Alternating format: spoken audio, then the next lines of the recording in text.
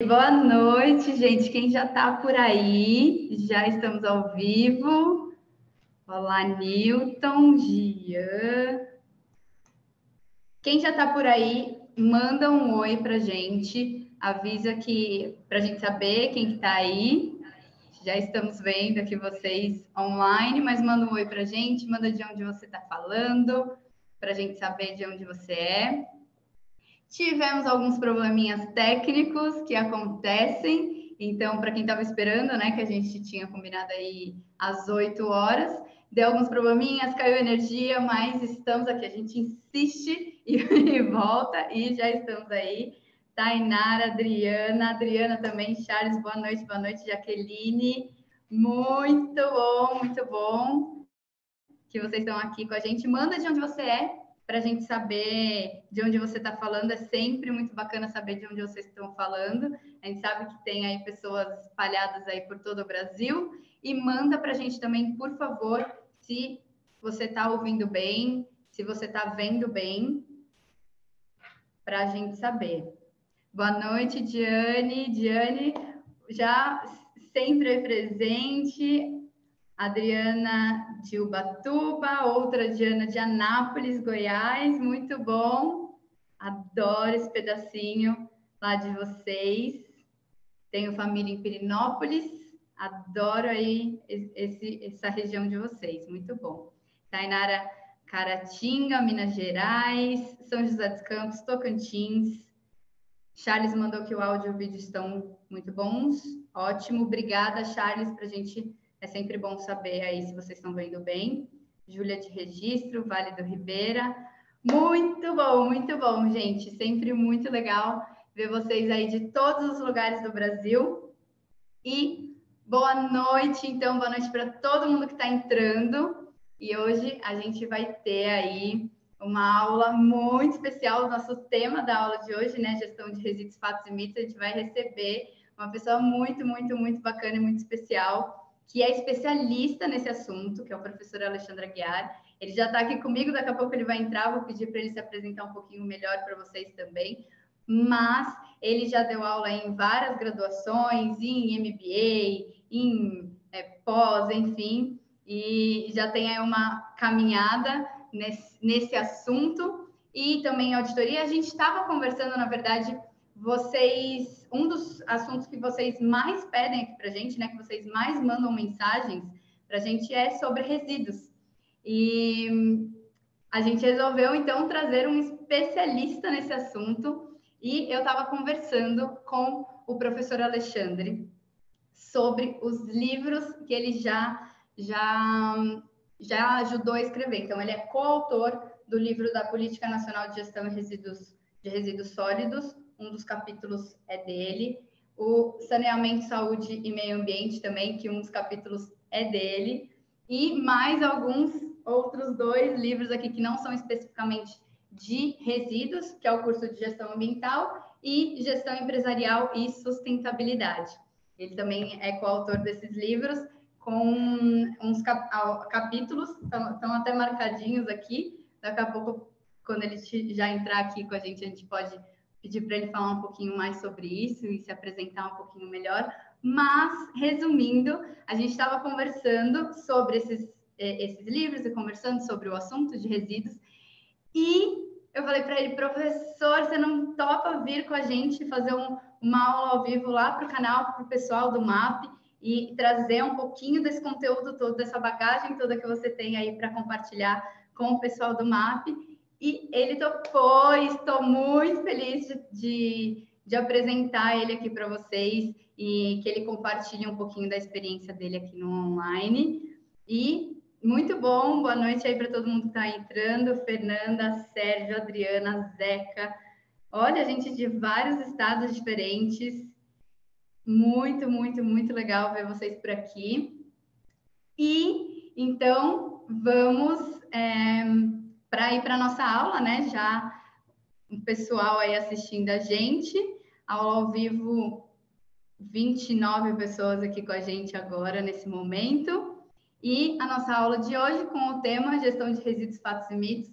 E vou, tenho um prazer enorme. Eu vou pedir para vocês receberem com muito carinho, muita energia, o professor Alexandre, que está aqui comigo já. E se você puder abrir aí a câmera para a gente, professor. Estou aqui. Maravilha! Muito bom. Professor, um prazer imenso receber você aqui na MAP. E, e prazer é meu. Nossa, é uma honra é, poder é, participar. E, é, Para mim é novidade, é novidade, aqui, essa coisa também de, de, de live, de sala ao vivo, online. Assim, não estou acostumado com isso, não. Vamos ver como é que eu me saio hoje. Maravilha. Inclusive, gente, isso é um ponto bem importante. A gente estava conversando hoje o professor falou nossa, adoro anos aula no presencial, como é que vai ser no online? Falei, fica tranquilo que o pessoal do MAP é muito bacana e eles vão te receber com muito carinho, eu tenho certeza.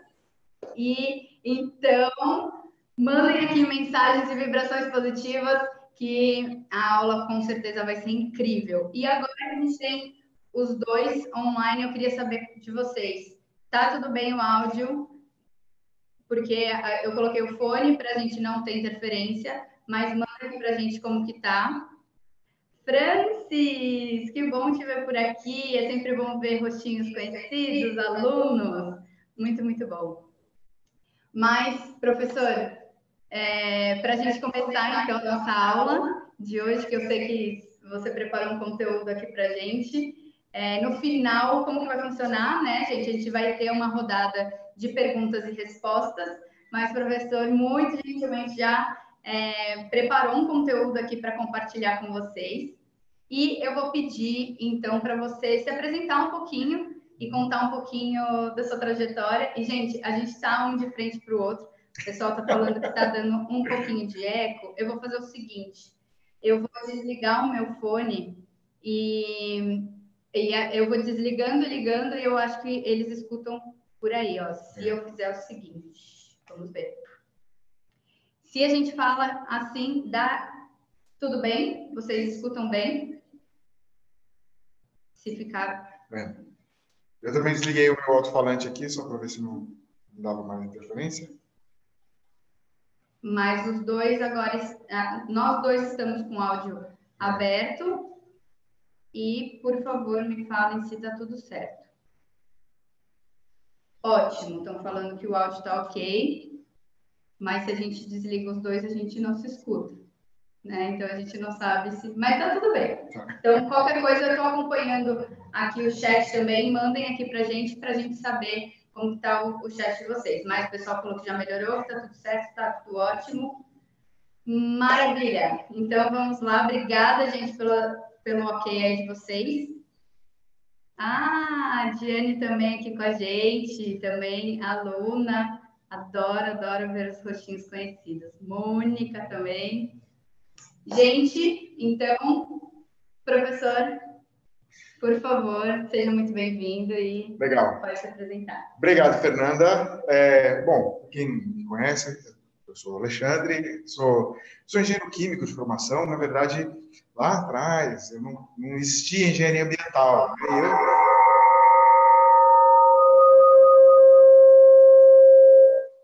Eu, Talvez você precise desligar o seu microfone.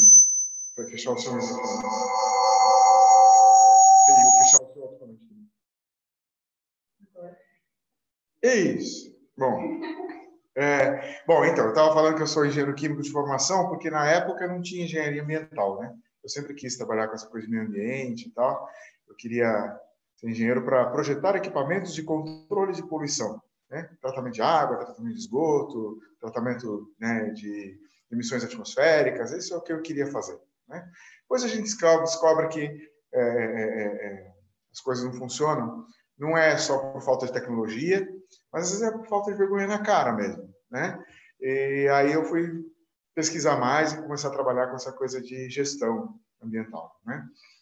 Fiz mestrado e doutorado na área de saúde pública, Trabalhei muito, trabalhei um tempo em fábrica, trabalhei um tempo, bastante muitos anos, e até hoje ainda trabalho, né, como consultor, é, como auditor de sistema de gestão ISO 14001 e de meio ambiente, saúde e segurança também.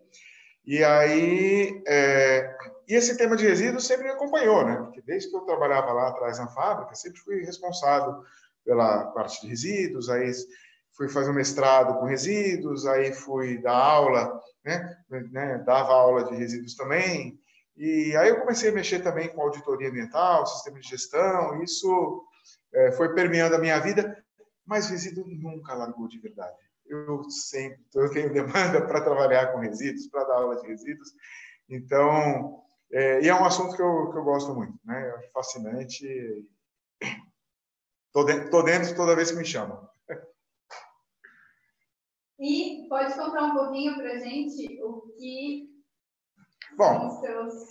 É, esse, esse, esse livro aqui é um livro que foi editado aqui pelo professor Arlindo Felipe Júnior, que é o meu foi meu orientador de mestrado doutorado, e, e, o capítulo que a gente escreveu aqui é um, exatamente um capítulo sobre. É, aqui não sei se vocês estão vendo espelhado, esteja vendo espelhado. Não, tá, tá, tá, tá tudo certo? É, porque eu vejo espelhado aqui no meu. É, mas é resíduos sólidos, características de gerenciamento, que é um, um capítulo sobre um geralzão assim de resíduos, tem a classificação, as etapas básicas de gerenciamento, né, de é, acondicionamento, coleta, transporte, tratamento, destinação final, né, é, dos vários tipos de resíduos. É um, é um, é bom resumo. Né? Esse aqui já é um livro sobre, é, especificamente sobre a Política Nacional de Resíduos Sólidos. O, o, um dos editores aqui é o Zé Valverde Machado Filho, que a gente conhecia, né, conhecido nosso, também o deputado Arnaldo Jardim, que é, foi o relator da lei, né? Ele, ele, ele é um dos organizadores. E o capítulo sobre gestão integrada de resíduos sólidos, né, foi escrito aí pelo né, professor Arlindo Felipe Júnior, eu, né, professor Daniel Luzi e o professor uh, Armando Borges Castilhos. Né? É, outros assuntos que eu trabalho também, então, como eu sou auditor também de certificação, o pessoal sempre escreve, pede para escrever sobre auditoria, então nesse livro aqui, que é o curso de gestão ambiental, também editado pelo professor Alindo Felipe Júnior, professor Marcelo Romero, professora Gilda Bruna. Né? O capítulo sobre auditoria ambiental é o, é o, é o, um capítulo que eu escrevi, também com o meu orientador, o professor Alindo, e ele tem uma, uma, uma, abordagem um pouco conceitual com as aplicações da auditoria, né? Para que a auditoria serve e tal, e tem um, um pouco de abordagem prática também para quem não conhece. Né? Claro que não é um curso completo de auditoria, mas é bem bacana. Né? E esse sobre gestão ambiental empresarial, esse é o livro mais novo, né? também é editado pelo professor Alindo Felipe Júnior, pelo Carlos Ciossi e pelo Valdir Fernandes. Né?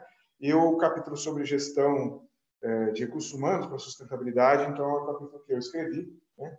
Eu, entre, entre as várias coisas que eu dou aula, também já dei aula no curso de recursos humanos, eu aproveitei que eu estava no curso e fiz uma, uma, uma coletânea interessante, né? É, de tanto um pouco de perspectiva de, de, carreira, né? Mas o perfil que tem que ter o professor, o profissional de recurso de, de sustentabilidade, né? Questão de trabalhar com, com problemas complexos, a questão de ter os valores, né? De casar os valores do profissional com os valores da empresa, então uma série de temas bacanas que trabalham nesse capítulo, né? Maravilha, muito obrigada.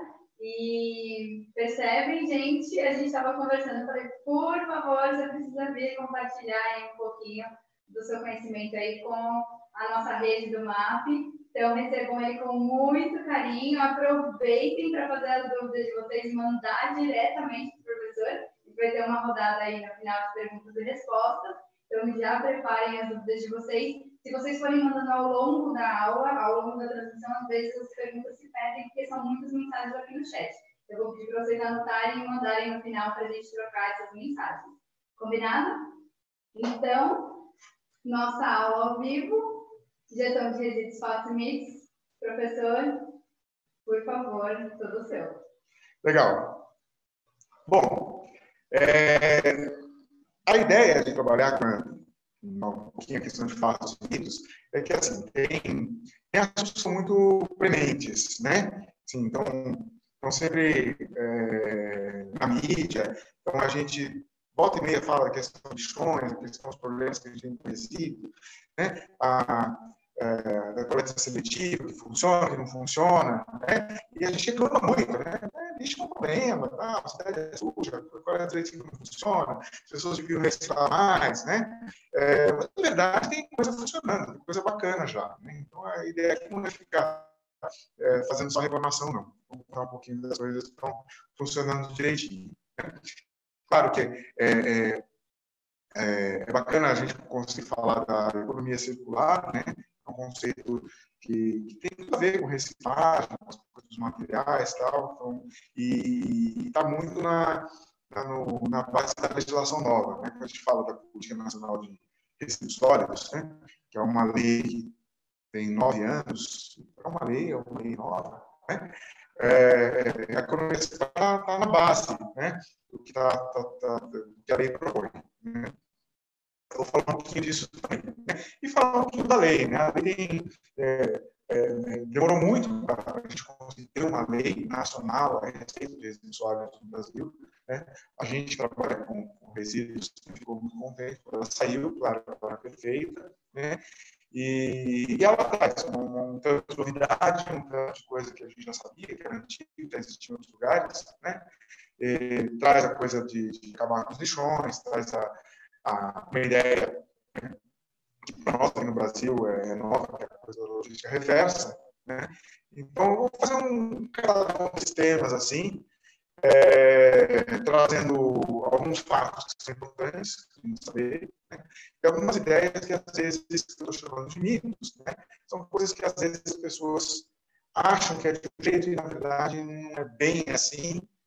E aí eu vou colocar algumas coisas, minha opinião também, Acho que é importante a gente né, não só mostrar não só o conhecimento, né, mas a gente que, que, que, é profissional da área tem que ter opinião também, porque tem coisas que não são tão objetivas assim. Né? Professor, só um minutinho, o pessoal está falando que está dando probleminha no áudio, provavelmente porque está com a gente está essa questão da estabilidade da internet. Vou pedir o seguinte, é, você desligar o seu áudio, eu vou abrir o meu, e daí você usa o áudio do meu computador. Ok.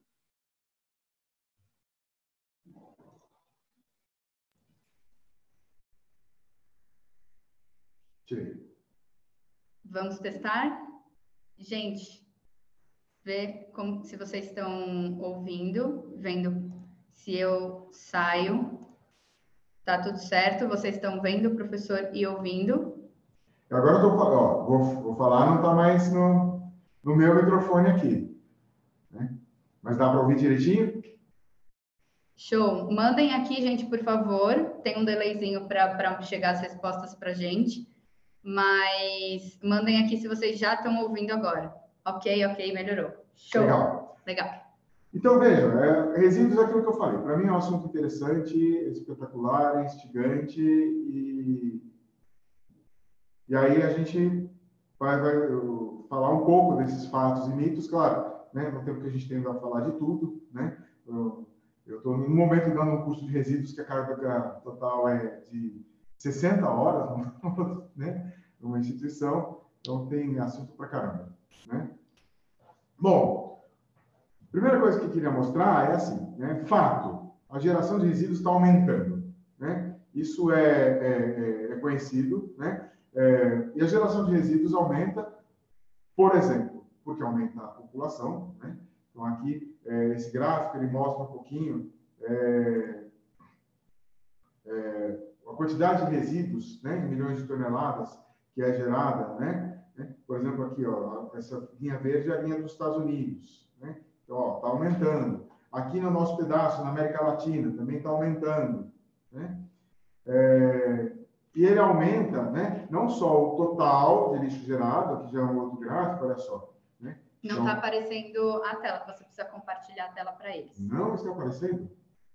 Tem que clicar aqui no share. Ah, babada minha, olha só. Aqui.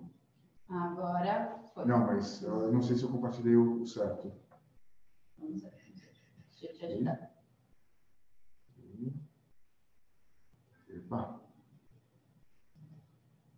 Né? Você só precisa abrir aqui para compartilhar a tela. Agora tá. Agora tá, joia. Tá? Então, olha só.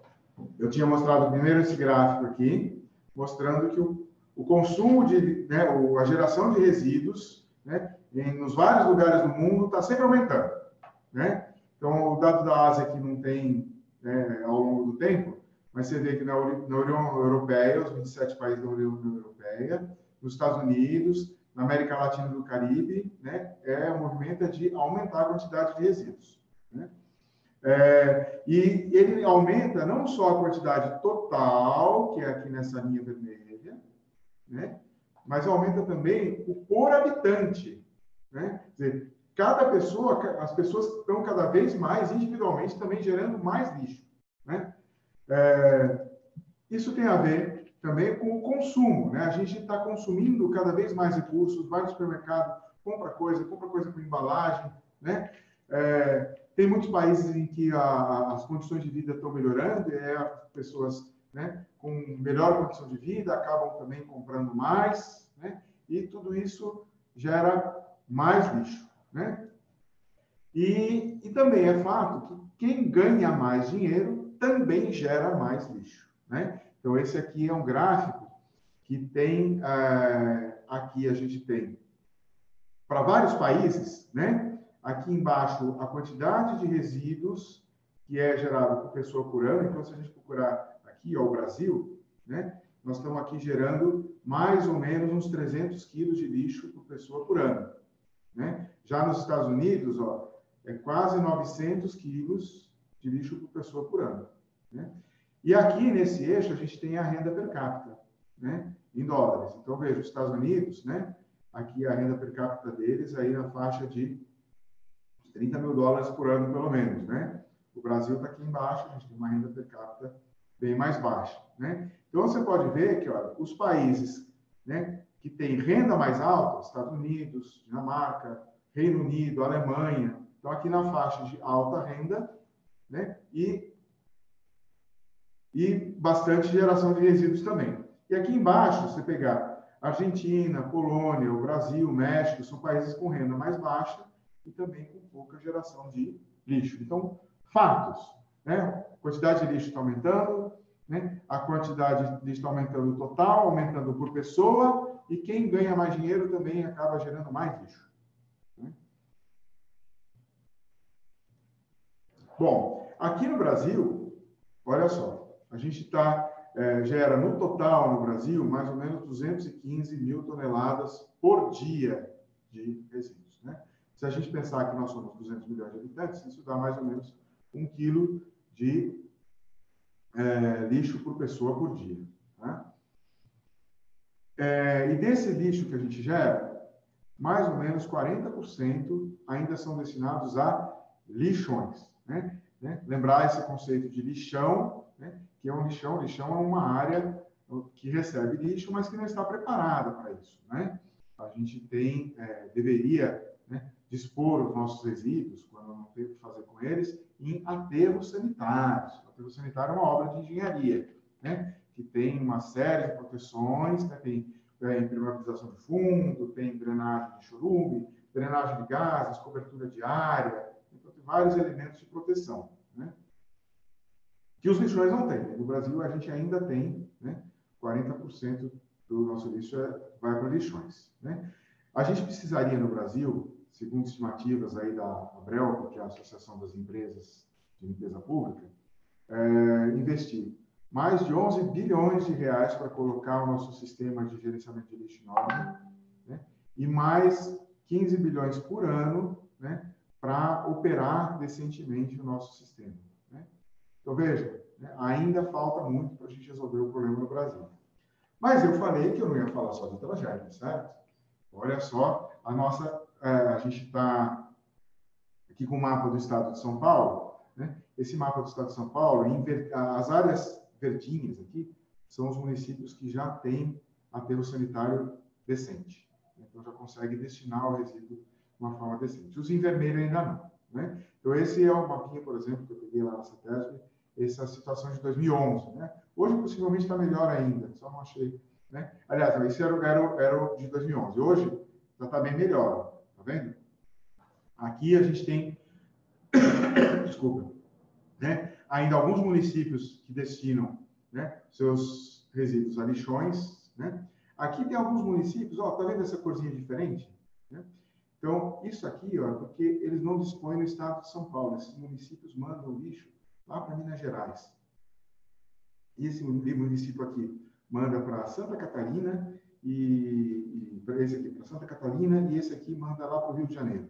Né? Por isso que ele tem essas cores diferentes. Né? E aí a CETESB não tem o controle da qualidade desses aterros. Né? Por isso que ela não, não coloca aqui nem, nem verdinho, nem, nem, nem, nem, vermelho. Se a gente comparar, olha só. Né? né? É, aliás, acho que eu troquei aqui, né? Eita! Está trocado aqui nesse slide. Né? Mas se a gente comparar, a gente vai ver que 2018 está bem melhor já do que 2011. Né? É, fato, né? A gente agora tem uma lei de política nacional de resíduos sólidos, né? A lei federal 12.305, né? Promulgada em 2010, né? E eu trouxe algumas coisas interessantes, né? Por exemplo, planos de gerenciamento, né? É, agora, resíduos sólidos não é uma coisa que a gente tem, é, possa gerenciar no chute. Eu tenho que planejar, né? A gente tem problemas já de muito tempo, né? É, resíduos é um problema que a gente resolve no longo prazo, não dá para resolver no curto prazo, então tem que ter todo um planejamento, né? Cidades têm que se planejar, os estados se planejar, o país se planejar, os geradores de resíduos se planejar, né? E isso é uma coisa que não existia, né? Então, a lei agora coloca que os estados têm seus, seus planos de resíduos, os municípios, os principais geradores de resíduos têm que ter os seus planos também. A lei trouxe uma, um conceito interessante, que é o conceito de responsabilidade compartilhada pelos resíduos é, no fim da vida útil, né? Então, certos, é, é, o resíduo de eletroeletrônico, de pneu, né? De, de várias, várias categorias de resíduos, né? Agora tem a responsabilidade compartilhada pela sociedade. Então, os atores sociais, não só a prefeitura, não só a gente que gera o lixo, mas os fabricantes, os comerciantes, os distribuidores, os importadores de produtos passam a ter responsabilidade compartilhada sobre a destinação dos resíduos, quer dizer, o que fazer com eles no final da, da vida útil, né? Isso traz uma necessidade que é a necessidade da logística reversa. Né? O que é a logística reversa? Né? É, eu, é uma ferramenta de gestão para eu conseguir trazer os resíduos, em vez de levar de volta para o aterro, trazer de volta para o ciclo de produção, para poder reaproveitar os materiais. Né? Então, a logística reversa é o mecanismo de transporte, de coleta e transporte desses materiais até trazer de volta para o sistema produtivo. Né? Isso está ligado também com a visão de ciclo de vida do produto. Né? A gente é, pensava assim, compro o produto no supermercado, tal, uso, vou jogar fora, né? é um circuito linear. Né? Agora a gente né, é, ver que o produto ele tem que fechar o ciclo, né? Depois de, de ser usado, voltar para a reciclagem. Né? E a legislação previu também o fim dos lixões, né? Será que ela previu mesmo o fim dos lixões? Né? É, eu acho que aí nós temos um mito, né? Por quê? A lei, a lei realmente colocou que até 2014 tinham que estar acabados todos os lixões no país, né? O problema é que em 1954 já existia uma lei que era o Código Nacional de Saúde, que já dizia assim: você não pode colocar o lixo em qualquer lugar, não pode dispor o lixo né, é, a céu aberto, porque isso não é bom para a saúde, não é bom para o meio ambiente. Já tinha essa lei. Né? Em 1976, em São Paulo, né, quando saiu a lei de controle de poluição do Estado de São Paulo, também estava escrito lá: não, o lixo, só, resíduos sólidos só podem ser dispostos em áreas preparadas sem causar poluição, etc., já proibia lixão. Em 1969, no nível federal, já tinha uma outra portaria, uma portaria MITA 53, que também já dizia não pode colocar lixo em lixão. Em 1981, a Lei Política Nacional do Meio Ambiente, né? a Lei 6938, também já colocou não pode colocar lixo onde não está preparado. Né? Então, veja, 1990, é, os estados, municípios, também fizeram leis. Em 90, por exemplo, Porto Alegre fez uma lei. Né? É, 1998, a lei de crimes ambientais. Todas essas leis já diziam, não pode colocar o lixo no lixão. Né? Então, na verdade, quando a, a, a, a, lei da política nacional falou assim, é, os lixões têm que acabar até 2014, na verdade, ela permitiu lixões até 2014. Ela disse assim, olha, quem tem lixão, tudo bem, se vira até 2014. Né? Então, ela não, ela não proibiu. Né? É, é, ela, na verdade, permitiu durante um tempo. Agora já está proibido de novo. Né? Mas a gente ainda não conseguiu, né? Infelizmente, a gente não conseguiu é, resolver esse problema ainda. Né? A outra coisa que a, que a, que a lei trouxe foi a economia circular, a questão da reciclagem. Né? É, reciclar faz bem, né? Reciclar é uma coisa... É, fatos, né? Fatos, né? Reciclar economiza uma série de recursos naturais, isso é bom para o meio ambiente, né? É, uma tonelada, por exemplo, no caso do papel, né? Uma, né? se eu reciclar uma tonelada de papel, eu evito cortar 30 árvores, né? É, se eu for produzir uma tonelada de papel, eu gasto 100 mil litros de água né, e 5 mil quilowatts de energia. No caso do papel reciclado, olha só, eu gasto 2 mil litros de água só, né? E, e 2.500 kWh de energia. Economizo um montão de água, né? Quase a metade da, da, da energia, né? É, Para produzir o papel reciclado, eu lanço 74% menos de poluentes. Né? É, na hora de reciclar o aço, né? a reciclagem de uma tonelada de aço economiza 1.140 quilos de minério de ferro. Economiza carvão também. O carvão é usado né, para transformar o minério de ferro em aço. Né? Em muitos lugares se usa carvão vegetal. Né? Quando é carvão mineral, é ruim também por causa do efeito estufa. Se carvão vegetal é ruim porque desmata. Né? Então, veja, são muitos fatos para que a gente possa, é, que sustentam né, que a reciclagem é legal. A reciclagem de alumínio, né? Uma tonelada de alumínio economiza 95% de energia se eu reciclo, né? Em relação à produção a partir direto da, da bauxita. Né? É, a produção de alumínio também é, lança menos 85% de poluição do ar e menos 75%, 76% consumo de água. Né? Reciclar vidro também é legal. O vidro reciclado gera um quilo de vidro novo, né? O vidro tem um truquezinho que a gente não pode ficar misturando muita cor de vidro, né? É, senão, o único vidro que dá para fazer com cor misturada é o vidro âmbar. É, economiza 50% do consumo de água, né? Reciclar plástico também é legal, economiza 90% de energia, né? Gera, aqui tem um errinho aqui no slide, né? o professor também erra, né? gera mão de obra aqui para a implantação de pequenas e médias indústrias, isso é muito bacana. A indústria de plástico reciclado é uma indústria bastante mão de obra intensiva, né? então gera bastante emprego, né? não só os catadores, mas nas indústrias mesmo. E é, 100 toneladas de plástico reciclado evita a extração de petróleo também. Né? Bom, a gente sabe que tem países que reciclam mais e países que reciclam menos. Né? É, e o fato é de que até na Europa tem diferenças entre os países, né, de quantos países conseguem reciclar, né? Então, se você olhar é, aqui nesse nesse gráfico, né, é, aqui por exemplo, DK, DK é Dinamarca, né? É, DE é Alemanha, né? O K é o Reino Unido. Então, são países que, olha, reciclam 40, 50, 60%, né? é, do, do, material reciclável presente no lixo. Né? É, são países que conseguem reciclar bastante. Por outro lado, né, tem países que conseguem reciclar bem menos. Né? Olha só, a Tchecoslováquia, a Hungria, a Lituânia, né? a Eslováquia. É, alguns países estão no, intermediário aqui, né, como Portugal e Espanha. Então, vejam, Aqui são países né, mais organizados, também com renda per capita mais alta. Veja que, mesmo na Europa, tem uma diferença. E os países mais, lembra que os países mais ricos, né, onde com renda per capita mais alta, geravam mais lixo. Então, eles também reciclam mais. Os países mais pobres geram menos lixos e também reciclam menos. Né? Uh, e no Brasil, como é que está? Né? Veja, no Brasil tem uma boa notícia aqui. Olha.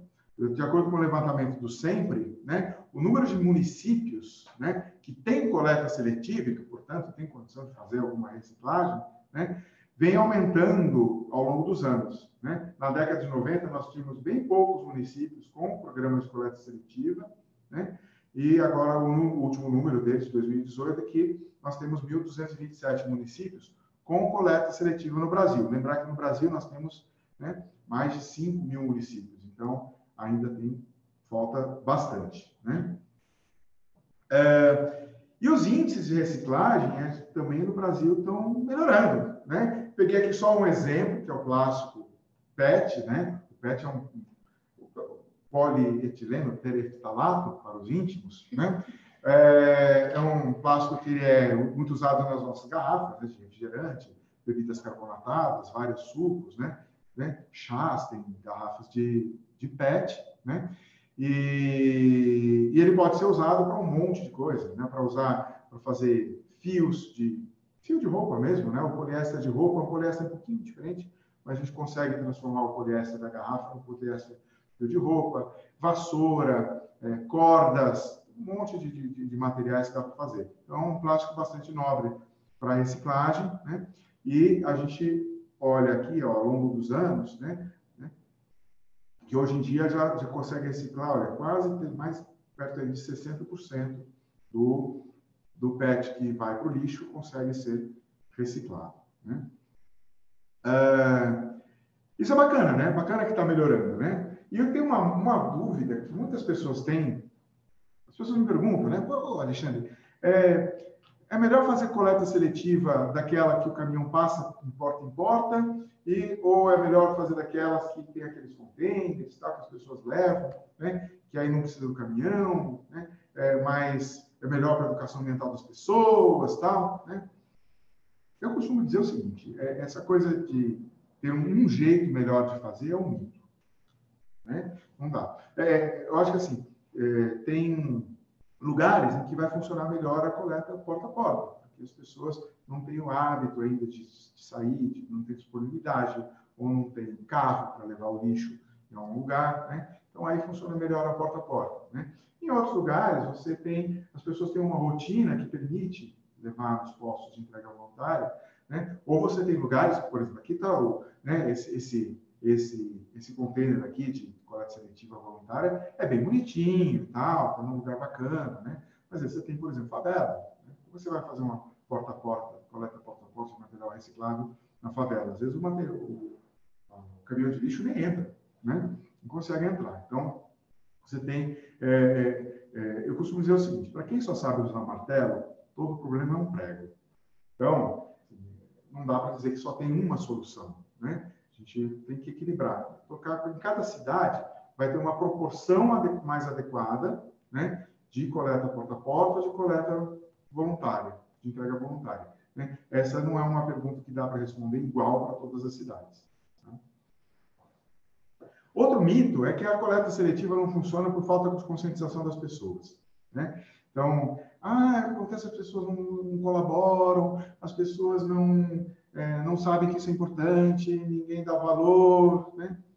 Okay, pode até ser que seja um tanto, né? Mas a gente sabe que para as pessoas terem um tipo de comportamento, né? Por exemplo, isso vale para o comportamento ambientalmente correto, vários deles, inclusive a coleta seletiva, né? né? A gente sabe que esse comportamento, né? Ele é precedido de uma intenção. Eu tenho que querer fazer, né?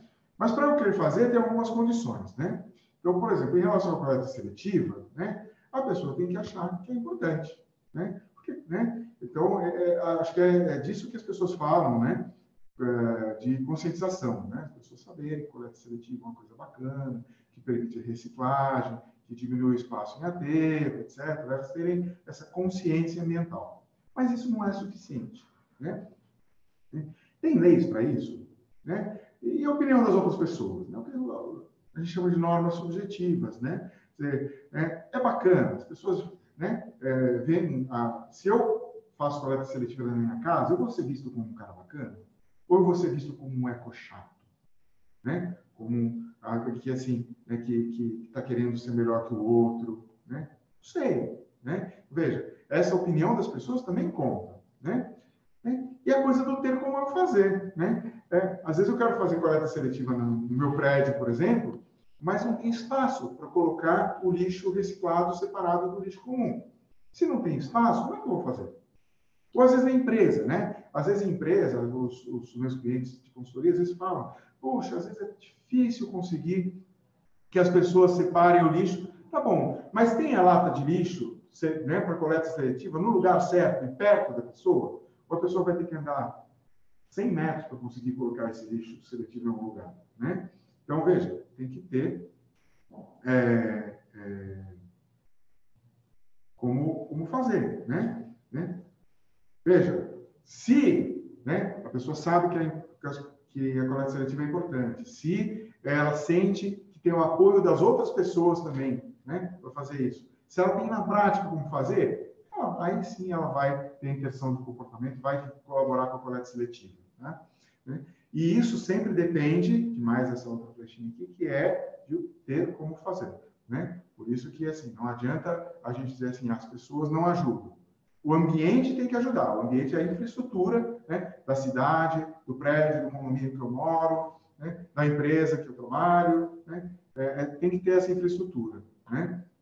Senão não adianta a gente só dizer assim, botar a culpa nas pessoas. Alexandre, é, rapidinho, eu acho que cabe eu fazer um comentário aqui, que esses dias, na verdade, eu estava, para quem acompanha o Marco, sabe que eu, eu estive na Disney fazendo um curso na Disney sobre como a Disney funciona como empresa, né? E uma das questões que é interessante a gente, a gente colocar nesse ponto é que a Disney, eles têm a cada 15 metros, é, a cada 15 passos, tem uma lixeira com um coletor de resíduos e com um coletor uh, de, de, de recicláveis e de não recicláveis, né? Então, o parzinho dos coletores você não vê nada no chão, absolutamente nada no chão. O quanto isso é consciência e o quanto isso é o ambiente proporcionar uma, uma situação que viabilize que aquilo aconteça. Então, as pessoas se sentem constrangidas até de jogar algo fora, de tanto que isso repercute, de tanto é que isso acontece. É uma questão de norma subjetiva, né? Por que, por que, que, por que, que o metrô também não é né? não tem sujeira, né? Porque as pessoas percebem, não, não tem lixo no chão, então aqui não é para jogar lixo no chão. Exatamente. Né? é o que chamamos de norma subjetiva. Né? E só mais um, um comentário também sobre um, um pouquinho do que você falou agora há pouco, é, sobre as diferenças dos materiais e da reciclabilidade, né, desses materiais e dos dados que você trouxe, muito, muito, muito bacanas, inclusive. E a gente percebe, algumas pessoas mandaram, ah, aqui no meu estado é ruim, aqui no meu estado é bom, e, e como funciona isso, e como varia de lugar para lugar. E também pensando no, nos materiais, então, a latinha de alumínio, ela tem uma reciclabilidade muito melhor do que alguns outros materiais. Uhum. Então, a latinha, o vidro, e o vidro tem a dificuldade da logística disso, né? E da, da quantidade de plantas industriais que existem no ah. Brasil para isso, então depende do lugar. Você sabe que não é só o vidro, né? Eu me surpreendi uma vez quando eu estava fazendo o meu mestrado, né? O pessoal trazia papel de Goiânia para São Paulo para reciclar. Pra... Mais mil quilômetros. Da, da, das né? plantas. Da, da dificuldade de achar um, um, uma planta industrial para isso. Né? Então, o quanto também é bacana a gente conseguir, como profissionais, né? Estamos aqui falando com profissionais é. da área ambiental, quanto é, é, é importante também a gente é, apoiar e viabilizar essas outras plantas em outros lugares também, em outros estados. É. Eu não comentei isso quando eu falei da lei da Política Nacional de Resíduos Sólidos, mas uma das críticas que eu faço é exatamente a falta de conexão entre a política de resíduos e a política industrial, né? Que a política industrial deveria também é, é incentivar né, a, a, indústria da reciclagem, né? porque não adianta nada fazer a coleta seletiva e depois não ter para onde mandar o material. Né? Então, é, a, acontece que se a, a, política industrial e a política fiscal também, a questão dos impostos, né? o pessoal de reciclagem reclama muito disso, né? Que o material reciclado acaba sendo bitributado, né? E se isso é uma coisa importante, que economiza dinheiro para prefeituras, né? economiza em aterros novos, economiza num monte de coisa, né? Talvez ele pudesse ter mais incentivo fiscal. E aí, se você não casa essas três coisas, né? A gente demora mais para resolver o problema. Não é que não vamos conseguir. Eu tenho fé que nós vamos conseguir, né? Mas vai demandar muito mais esforço. Exatamente, e depende também dos materiais, né? Porque é, a latinha de alumínio ela tem uma reciclabilidade por conta de, de, de valores financeiros, é. isso retorna quase que que se mantém né, o fluxo do, da, da logística como um todo. Agora, os outros materiais não. Então, como casar o incentivo entre o, o público e o privado? É. Mas... E falando dessa coisa dos materiais, né, uma outra coisa que, a, que o pessoal às vezes fala, nossa, né? É, é, um lugar é melhor do que o outro porque separa mais os materiais, né? É, bom, isso não é, não necessariamente a melhor coleta seletiva é a que separa mais, né? A melhor coleta seletiva é aquela, né, para mim, é que se adapta melhor ao mercado. Né? Então, quem são, isso que a, a, a Fernanda está falando, quais são os materiais que na minha cidade, ou na minha região, né, tem como reciclar, né? Porque às vezes o pessoal fala, ah, ah, o isopor não é reciclável. Não é verdade, o isopor é reciclável tecnicamente. O que acontece é que às vezes a fábrica recicla está tão longe que não vale a pena, né? A, tetra, aquele material Tetra Pak, a gente conhece como Tetra Pak, né? Também, ele é tecnicamente reciclável, né? A questão é, na minha cidade? Na minha região, né? tem mercado para ele, tem uma empresa que faz essa reciclagem. Né? E a outra coisa é que estrutura de transporte eu tenho para transportar tudo separado.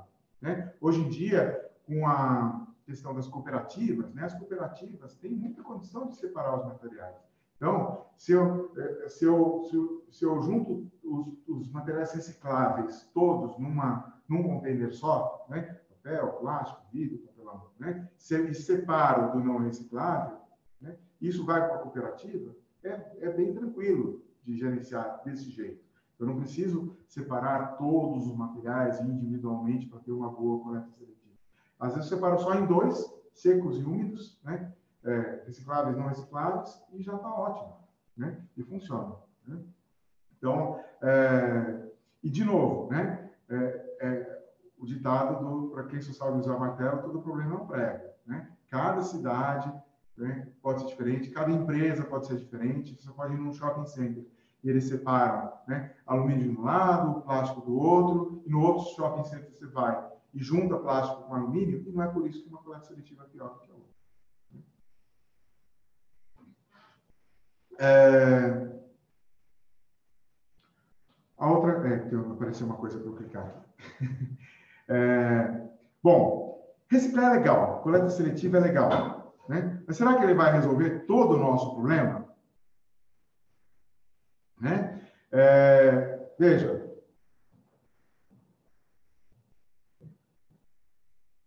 todo país, em todos os lugares, né? É, eu não tenho só o lixo reciclável para tratar, né? Então, se a gente olhar esses gráficos aqui, olha só, né? É, nos países de renda mais elevada, o que acontece, né? Eu tenho uma fração maior de materiais como papel e papelão, plástico, né? é, metal, vidro, os recicláveis, né? Uma fração menor, né? De material orgânico, né? E do amarelinho aqui as coisas que não são nem uma coisa nem outra, né? Nem material reciclável, nem, nem orgânico. Né? Nos países de renda mais baixa, né? Olha só, aqui a maior parte é orgânico. Né? E aí tem uma, uma fração menor dos materiais recicláveis. Né? Então, veja, a reciclagem vai resolver todo o problema? Não vai, porque sempre tem uma parte, que é o material orgânico, e os rejeitos, aqui em amarelinho, né? que não tem como reciclar. Né? Então, não vai resolver todo o nosso problema. Né? Claro, é importante, vamos fazer reciclagem legal, né? mas não vai resolver todos os nossos problemas. Estou tentando avançar o slide e ele não está avançando. Agora o problema é no meu aqui. Ah, foi. Tá? Então, veja, é, tem uma das das soluções que eu acabei não colocando aqui na, na aula, que é a compostagem, né? A compostagem ela é uma solução para a gente destinar essa fração orgânica. Eu transformo material orgânico, né, principalmente lixo de comida, né, em um composto. A gente chama de composto, é quase como se fosse um adubo. Né? Mas, tecnicamente não é bem um adubo, mas é uma coisa que a gente pode usar na agricultura, é bem legal, as plantas crescem bem bonitas. Né? É, mas uma das coisas, uma das técnicas que pode ajudar a gente também a resolver o problema do, do lixo é a incineração. Né? Incineração significa queimar o lixo, mas não é queimar numa fogueira, nem num forno de pizza. Né? É, antigamente tinha os fornos, né, que a gente chamava de forno de pizza, né? Tão ruim que ele era para queimar o lixo, né? A incineração é uma queima controlada, uma queima técnica, equipamentos projetados, onde eu controlo a temperatura, controlo a quantidade de oxigênio que entra, vai um combustível junto para ajudar, né? É, e ela tem várias vantagens, né? Por exemplo, ela diminui muito né, o volume de resíduos que eu preciso enterrar depois. Né? Por isso que no Japão, por exemplo, por que o Japão incinera tanto lixo? Né? O Japão é um dos países que mais incineram lixo no mundo. Né? Mas olha só, eles são né, um país que basicamente é composto por ilhas e montanhas, né? não tem muito onde enterrar lixo, tem muita gente, o Japão é um país muito populoso, né? então não tem espaço. Né? espaço para enterrar lixo. Então, acaba tendo, usando essa vantagem da incineração para diminuir a quantidade de lixo que vai para aterros. Né? Além disso, a incineração ela elimina vários componentes químicos perigosos, então, para lixo, lixo tóxico, lixo, resíduos perigosos, lixos industriais, né? Isso é bacana. Né? É, ainda tam, também é usada para eliminar patógenos de resíduos de saúde, então, a incineração é muito útil. Né? Pode ser associada ainda à geração de energia, né? Daqui a pouco vou mostrar um gráfico para vocês, né? Tem os probleminhas, né? né? É, o problema é que ela é cara, né? É considerada uma tecnologia cara para destinação de resíduos, por isso que ela né, só usa quando precisa, né? E pode gerar ainda a poluição por dioxinas e outros compostos tóxicos, né? E aí tem dois fatos, tem, um fato e um mito para falar dessa coisa das dioxinas. Né? Fato, sim, incineração tem um risco grande de gerar dioxina, e sim, dioxina é um problema para a saúde pública. Né? Dioxinas são compostos muito tóxicos, cancerígenos, etc. Não queremos. Né? Claro que hoje já existe tecnologia para a gente fazer incineração sem gerar dioxina. Né? Tem tecnologia para isso. Tá? É, se você me perguntar, é a opinião do Alexandre, é opinião, não é fato, nem é opinião. Tá? Né? Aqui no Brasil, a gente ainda tem um problema muito sério de operação de equipamentos. Né? É, o meu principal medo é a gente colocar um incinerador de, de resíduos. Né? No começo ele vai bem bonitinho, mas aí a gente não faz a manutenção direito, começa a faltar peças de reposição, etc. E é coisa de escândalo. Né? Esse é um, mas é um medo meu, tá? é uma percepção minha, não é, não é, não é nada científico isso. Né? Agora, isso é largamente usado no mundo. Olha só os países aqui na Europa, né? É, é, é a Dinamarca, Suécia, Holanda, né? quanto do lixo eles incineram. Veja, né? tudo bem, veja que normalmente são países pequenos né, que incineraram bastante lixo. Né? É, e a maior parte da incineração é feita né, para é, recuperar energia. Né? É bastante, bastante é, é, é, energia recuperada. Né? Nem sempre, às vezes incinera e depois dispõe, né? Mas veja, uma, mini, uma minoria dos países queima o lixo só para só para enterrar cinza depois, né? A, a, maior parte da incineração que é feita, que é essa parte azul, né, é sempre para gerar energia, tá? Então isso é bem bacana também, é, contribuir para diminuir a questão dos gases de efeito estufa, etc. Né? E tem vários jeitos da gente extrair energia a partir do lixo, não é só queimando. Né? A incineração é um, é um dos métodos, né? O outro é fazer o que a gente chama de combustíveis derivados de resíduos. Eu posso processar o lixo de jeito que ele vire um, um resíduo. Né? Por exemplo, é, fazendo uns tijolinhos, né? são, são uma forma sólida. Né? Eu posso fazer biodigestão no lixo, e aí eu gero gás. Né? Eu posso tirar gás dos aterros, né? É, principalmente de aterros novos. Então, eu projeto um aterro já para poder aproveitar o gás dele. Isso Tem vários aterros no Brasil já fazendo isso. Né? É, a gente tinha uma esperança né, de que desse para fazer isso com aterros antigos também, mas não deu muito certo, não. Isso eu tenho um artigo meu, inclusive, publicado, né, mostrando que é, aqui no, no, Brasil, né, é, esse é um exemplo aqui de um dos aterros aqui no Brasil, né, essa linha azul era a linha que era prevista de recuperação de gás quando é, quando eles fizeram o projeto, né? Olha, o aterro já é existente e tal, mas ele está gerando gás, vamos lá, vamos capturar esse gás, vamos gerar energia. Né? Aí eles começaram a ver que a coisa não era tão boa assim, que não dava para pegar tanto gás, e essa linha verde aqui mostra a quantidade de gás que eles conseguiram captar de verdade. Né? Tanto que o projeto já parou, porque é, parou de gerar gás antes, bem antes do que, do que era previsto. Tá? Era previsto mais alguns anos aqui de gás e, acabou não dando certo. Né? Isso não é só esse aterro no Brasil, né? É, tem muitos, é, são muitos, muitos aterros pelo mundo, né, que acabou não dando certo. Tá? É, bom, cada, de qualquer forma, cada vez mais energia é gerada a partir do lixo, né? Esse gráfico mostra aqui, olha, os países da da Organização para Cooperação e Desenvolvimento Econômico, né? É o OECD, essa que o Brasil quer entrar agora, está querendo, querendo entrar, a Argentina acabou de ser aceita, né? É, é, bastante, é bastante energia gerada e está aumentando, ó, tá vendo?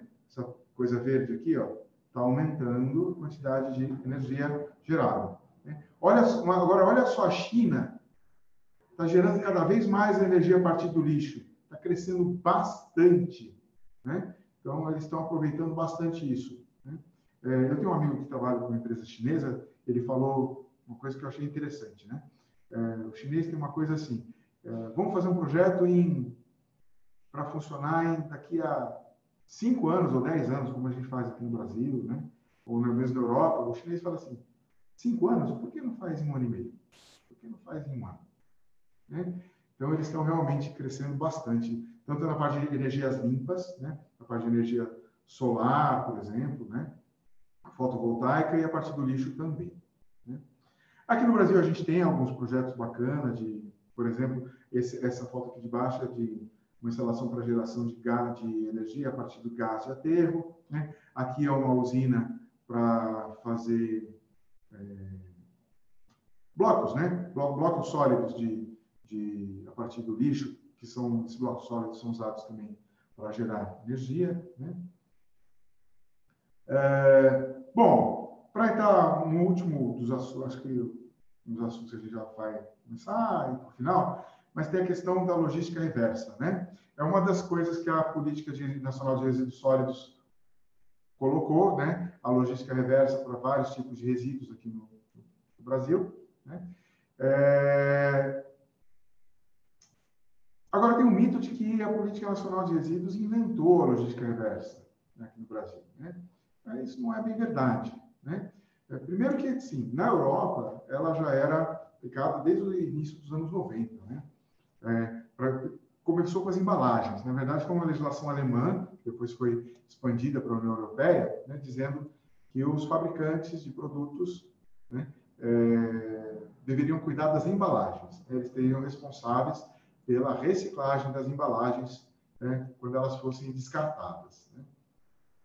É, isso foi lá no começo dos anos 90 e tal. Né? É, inclusive, é, é, foi interessante que, na época, fez tanto sucesso né, o sistema que a própria Alemanha não tinha indústria suficiente para reciclar aquela quantidade de embalagens. Né? Acabaram tendo que mandar para outros países, por exemplo, para a Europa Oriental. É, na Europa também já tem a logística reversa para outros produtos, por exemplo, para veículos, os fabricantes de carros, né, caminhões, tal, já são responsáveis também pelo resíduo do veículo no final da vida útil. Eletroeletrônicos também já tinha mais tempo, né? No Brasil, a gente já tinha experiências anteriores, né? Por exemplo, a embalagem de agrotóxicos, né? Já faz bem quase uns 20 anos que, que tem a, a, o requisito de que os fabricantes precisam recolher essas embalagens de agrotóxicos, né? É, óleos lubrificantes também já, desde o final dos anos 90, né, já tem essa é, legislação de que os, os, os fabricantes né, tinham que montar um esquema né, para coletar e reciclar. Né, pneus, depois vieram as pilhas e baterias. Né? Então, veja, a Polícia Nacional de Resíduos Sólidos, ela trouxe a logística reversa para um contexto mais organizado e de uma lei, né? Que, né? É, mas isso já existia antes em regulamentação no Brasil. Né? É, muitos, muitas empresas né, têm o mito de que é, vão ter que fazer logística reversa sozinha. Né? Outro dia, um aluno meu falou assim: Olha, eu tenho um cliente e ele é uma fábrica pequena de tintas tal, né? mas ele, ele manda, mas ele vende assim, né? para vários lugares no Brasil. E ele fala assim: e agora? O que eu vou fazer? Eu vou ser obrigado a fazer logística reversa da minha embalagem, né? porque agora a legislação falou que eu tenho que fazer logística reversa da embalagem. E como é que eu vou fazer? Como é que eu vou buscar a minha lata lá na Bahia? Né? Então, veja, é, a logística reversa não está funcionando e não vai funcionar com empresas individualmente. Né? É, cada setor tem uma forma de se organizar para que as empresas, de uma maneira consorciada, né, se, organizem para fazer logística reversa. Por exemplo, a logística reversa dos pneus, quem faz não é a Goodyear, não é a Pirelli, não é a Continental. Né? É a associação das, dos fabricantes de pneus que se juntou, né? se juntaram e falaram assim, ó, vamos fazer uma coisa, em vez da nossa associação só cuidar da parte de impostos, tá? vamos fazer uma associação dar para ela o papel de organizar essa logística reversa para a gente. Né? É, o pessoal da, das embalagens de lubrificantes, então você troca o óleo do seu carro no posto, né? a embala, aquela latinha, né? Aquele, aquela garrafinha de óleo, tem que ter uma logística reversa. Né? Então, o Instituto Jovem Limpo cuida disso. Né? O pessoal das lâmpadas, né? então, o Reciclos, é são os fabricantes de lâmpadas que se organizavam também para fazer a logística reversa né, é, das lâmpadas. Então, é, agora, é, hoje, inclusive, né, parece que foi assinado o, o, acordo de tem o acordo setorial dos eletroeletrônicos, né? A Green Electron é também uma, uma instituição, né, criada pela Associação dos Fabricantes Eletroeletrônicos, né, também para fazer a logística reversa dos eletroeletrônicos, né? Então veja, né, sempre essa maneira, essa, essa maneira coletiva de resolver o problema. Isso é uma coisa bacana. Né? As empresas concorrentes acabam se juntando para resolver um problema que é de todo mundo, que é a logística reversa. Né? É uma coisa bacana. É... Acho que esse talvez seja o último mito que eu vou falar hoje, né? Mas é o mito do ciclo infinito, né? É, muita gente fala assim, olha, a gente vai ter resolvido o problema dos resíduos quando a gente tiver aterro zero, né?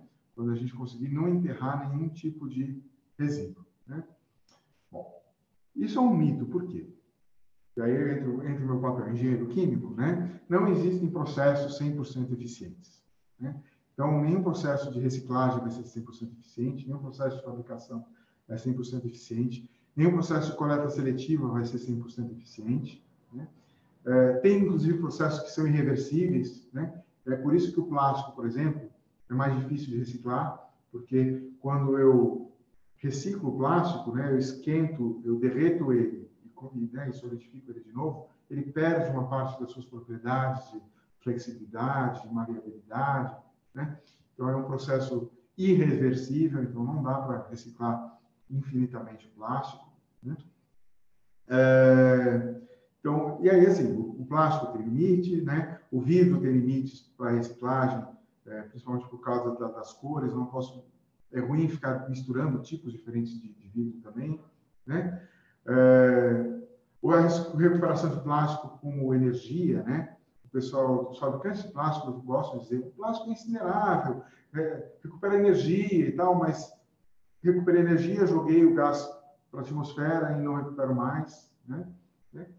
É, então, assim, é, é um mito, né? Vamos, vamos, mostrar um pouquinho mais isso aqui na, na, na figura aqui. Né? É, por exemplo, vamos supor que eu vou reciclar óleo, óleo lubrificante, né? ou pode ser óleo de cozinha também, vai dar no mesmo. Né? É, eu vou reciclar o óleo, sempre sobra um rejeito. Aquela sujeira que estava no óleo e tal, né? sobra um rejeito. Né? Esse rejeito, ah, mas esse rejeito eu posso incinerar, não preciso enterrar, eu posso incinerar. Eu, a gente incinera o resíduo, né? gera gases, gera energia, né? e sobram as cinzas. Né? O que eu faço com as cinzas? Não, cinza é rejeito, não vou fazer nada com ela. Né? Compostagem, legal, bacana. Eu pego meu resíduo orgânico, né? né? ponho lá os bichinhos, as bactérias, os micro-organismos para trabalhar, as minhocas para trabalhar, né?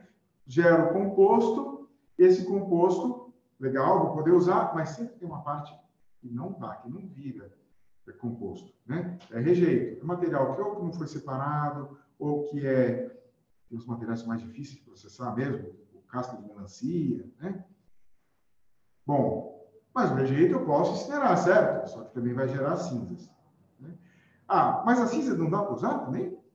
Poxa, já tem tecnologia para usar a cinza como matéria-prima? Eu posso usar a cinza para fazer cimento, eu posso usar cinza é, para usar a parte mais grossa da cinza, né? Para usar fazer base de estrada, né?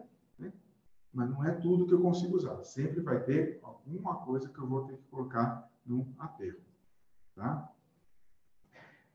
É, claro que vai diminuindo, né? Conforme a tecnologia vai melhorando, né? Então, né? É, é, eu posso usar cinzas da incineração de aparas de couro, né? Para usar em laboratório, né? É, posso usar para fazer o quê? Para fazer, sim, para fazer concreto. Posso usar cinzas, cinzas para fazer é, base de estrada, né? Aqui, veja, é, não vou mostrar ficar no detalhe, né? mas está sempre desenvolvendo tecnologia. Tem empresa já especializada nisso, uma empresa portuguesa, né? trabalha com resíduos, é um dos produtos deles específicos, é a reciclagem de cinzas. Né? As empresas também, é, é bem bacana quando elas assumem essa, essa meta do zero aterro, né? A Fiat, por exemplo, é uma dessas empresas, olha só, isso eu tirei do site da Fiat. Né? Aterro zero, é um compromisso que a Fiat tem. A Fiat Automóveis foi a primeira fábrica do setor automotivo do país a destinar 100% dos resíduos que gera para reciclagem e reutilização, eliminando envio para aterros, meta alcançada em 2011. Né? Então, é, é... veja, né? só para só para me, me, me, me, me contradizer, né? Então, né? só para me contradizer, né? tem gente que consegue. Né? Claro, como sociedade não dá. Né? Claro, uma empresa pode conseguir isso. Né? Né? É, a gente pode conseguir isso em casa, fazendo a nossa compostagem também, eventualmente. Né? É, escolher os materiais, só comprar coisas que sejam efetivamente recicláveis. Né? Mas como sociedade ainda é muito difícil. Tá? Claro, a ideia é ir cada vez melhor. E cada vez mais a gente conseguir né, voltar, né, é, tirar o recurso da natureza, usar e reciclar o máximo possível, né, diminuir a máximo possível a quantidade de resíduos que a gente gera. Tá? Professor, Estamos só um chegando no final. É, só um minutinho que eu acho que cabe um, uma fala minha aqui, porque exatamente quando você estava falando, já estava pensando na cabeça deles de, mas meu Deus, a Fernanda fez é, uma vez um, uma aula aqui no canal falando sobre o programa Aterro Zero e não existe Aterro Zero. E exato, foi muito legal você continuar, inclusive, para mostrar e detalhar que uma coisa não contradiz a outra e, pelo contrário, elas estão caminhando em conjunto. Então, no próprio, na, na, própria aula que eu falo sobre o método que um dos projetos que eu participei, desses projetos de Aterro Zero, eu explico o método que utiliza e é exatamente o slide que você mostrou de na destinação final, depois da recuperação do tratamento, da, da reciclagem, etc., sempre sobra um, rejeito. Então, como comunidade planetária, né, como sociedade, o aterro zero realmente tem toda essa, essa dificuldade de, de existir, isso é um mito, ao passo que as empresas pensarem nesses programas, isso é ótimo porque estimula com que a gestão de resíduos na empresa fique cada vez mais eficiente e se pense desde a matéria-prima né? Então, da geração. E, a gente chega cada vez mais perto do aterro zero. Né? Quer dizer, como não existem processos 100% eficientes, né? É, não vai não vão conseguir zero absoluto, né? Mas chegar Exatamente. cada vez mais perto do zero, é, é, tem, tem, que fazer. Né? É, um último detalhe aqui, né? É, vamos reciclar, vamos reciclar, né? Tem alguns estudiosos preocupados com um negócio chamado efeito rebote. O que é o efeito rebote? Olha só, se eu faço mais reciclagem, isso é bacana, certo? Por quê? Porque eu diminuo a quantidade de resíduos né, que eu tenho que colocar no aterro, etc. Né? Mas o que, que acontece? Ah, já que é reciclável, já que é bacana, então não tem problema eu comprar e jogar fora, certo? É tudo reciclável mesmo. Né? Aí as pessoas começam a consumir mais. Né? Consumir mais gera mais resíduos. Eventualmente, mais resíduos até do que eu gerava antes. Isso chama efeito rebote. Né? Então, por isso que tem muita gente né, que, é, inclusive, é, eu, eu já vi gente que diz assim, não, reciclagem não é tão legal assim. Por quê? Né? Porque estimula o consumismo. Né? E a gente precisa, na verdade, diminuir, pensar também em diminuir o consumo das coisas para gerar menos resíduos. Né? O que a gente gerar é legal reciclar, mas gerar menos. Uh, enfim, né? É, mito ou realidade? Né? Tecnologia, né? Resolvem todo o problema? Não, claro, ajuda, né? Não é à toa que hoje a gente tem mais, os materiais são mais recicláveis do que quando eu comecei a mexer com lixo. Né? Quando eu comecei a mexer com lixo, Tetrapack não era reciclável, né? Isopor não era reciclável. Hoje já é, tem tecnologia para isso. Né? Mas, claro, não resolve tudo. Por quê? Né? Por causa do comportamento das pessoas, das políticas públicas. A gente tem que dar condição para a coleta seletiva e para que essas coisas aconteçam. Né? Mas o comportamento da educação também não resolve se gente não tiver tecnologia, se não tiver mercado. Né? É, o importante é que a gente use tecnologia, conscientização, educação, políticas públicas no equilíbrio necessário para atingir os objetivos do desenvolvimento sustentável. Tá? E aí, quais são os dois objetivos que eu acho que são mais importantes para a gente que trabalha com resíduo? Né? Cidades e comunidades sustentáveis, por quê? Porque lixo é uma questão de cidade. Né? A gente, se a gente não cuidar do lixo, a gente vai viver no meio do lixo. Né? A gente não quer isso. Né? E, por outro lado, também o, a questão do consumo e produção responsáveis, que é um outro objetivo do desenvolvimento sustentável. Né? E aí tem os dois lados: o lado de é, da gente ser responsável no consumo para gerar menos resíduo, para escolher para as nossas compras serem voltadas para materiais mais recicláveis e mais reciclados, né? É, é, antigamente a gente falava assim, olha, produto reciclado é um produto de segunda linha. Papel reciclado não é tão bom quanto papel normal. Eu vou comprar uma coisa que é feita de plástico reciclado é, quebradiço. Não é necessariamente mais. Né? Então, hoje a gente tem que valorizar, né? Puxa, que bacana. E já tem isso, né? Eu conheço produtos que hoje são mais caros, feitos de material reciclado, porque é bonito. Porque, na verdade, é mais barato de fazer, de produzir. Né? É, bom, é mito que a gente consegue chegar nesse desenvolvimento nesses objetivos? Né? Isso não dá para saber. Né? Só a gente trabalhando mesmo para saber se vamos chegar lá ou não. Eu acho que a gente. É isso. Maravilha, maravilha.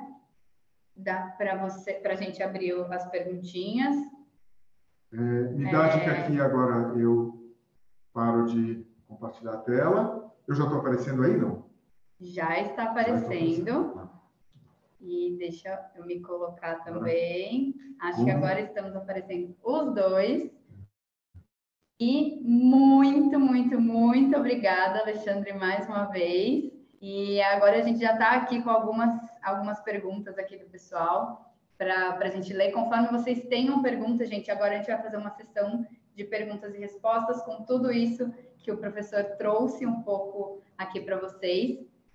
E para a gente, né, estamos nessa troca agora, todos juntos aqui trocando.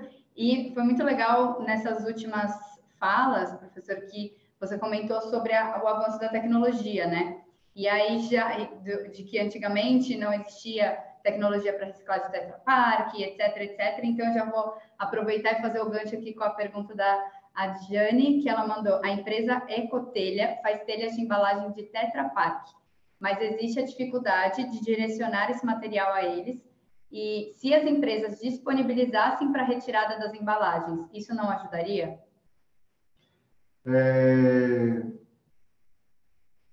Veja, é, é a questão da logística reversa, né? A questão é quem paga por esse custo, né? Então, é, tem materiais que se pagam mais facilmente, né? Então, aí você, é, a, a, empresa pode ir buscar, né? A, o, que a, o, que a, o que a lei de a Política Nacional de Resíduos Sólidos colocou, que é bacana, é que, assim, por exemplo, é, é obrigação das prefeituras e também dos sistemas de logística reversa né, ajudar, é, interagir com os catadores e valorizar o trabalho deles. Né? Então, veja, é sempre uma questão, por exemplo, essa fábrica fica onde? Né? É, é ela precisa, dizer, eu não sei onde ela se localiza, né, mas hoje é, um, é uma questão importante. Né? Onde eu vou colocar uma fábrica para reciclar esse tipo de material? Tem que ser onde já existe uma coleta seletiva, onde já existe um centro de, de, de, de consumidor importante, né? Veja, o Brasil é um país continental. É diferente você fazer logística reversa, né? seja de embalagem, de eletroeletrônico, né? do que for. Né? É diferente você fazer aqui em São Paulo, onde a gente está, né? é uma região metropolitana, com indústria de todo tipo, as distâncias não são tão grandes. Né? É, e aí vale também para o Rio de Janeiro, para Belo Horizonte, para o Recife, para Salvador. Né? E você fazer isso é, no sertão nordestino, ou você fazer isso no Pantanal Mato Grossense, né? ou mesmo em alguns em cidades do, do, interior do, de Santa Catarina. Né? Então, é, veja, é, é, diferente. Né? As distâncias contam muito.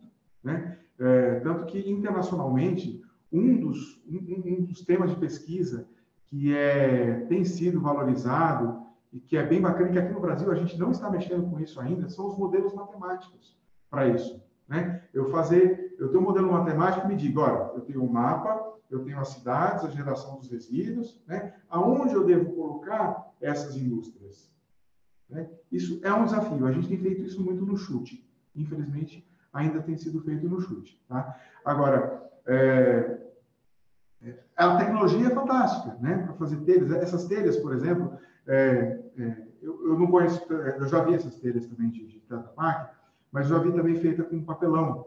Eles, no caso do papelão, eles acabam dando um banho de betume, que também é um resíduo do processamento do petróleo, né? então junto dois resíduos, né? e para fazer galpões agrícolas, por exemplo, tem uma demanda espetacular isso lá em Goiânia. Né? Então, é, eu acho que, assim, é, a questão é quem paga pelo transporte. Esse é o grande dilema, é um dos grandes dilemas da reciclagem. Né? né? E, infelizmente, a gente não tem ainda expertise aqui no Brasil para fazer isso com mais competência técnica. Tá?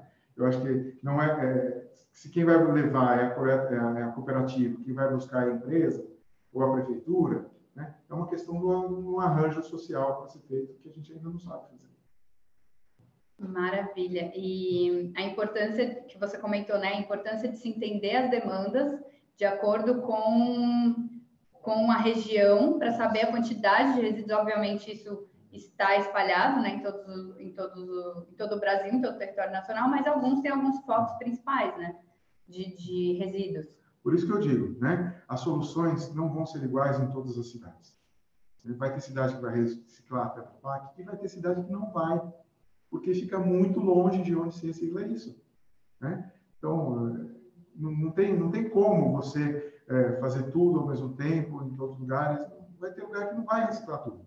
E é, foi até um comentário aqui, professor, que eu, se você puder comentar um pouco sobre como você imagina uma possível solução sobre isso, sobre todo esse cenário. É, algumas pessoas mandando, então, a, a Maria mandou, no Pará, essa logística de transporte de resíduos é bem complicada.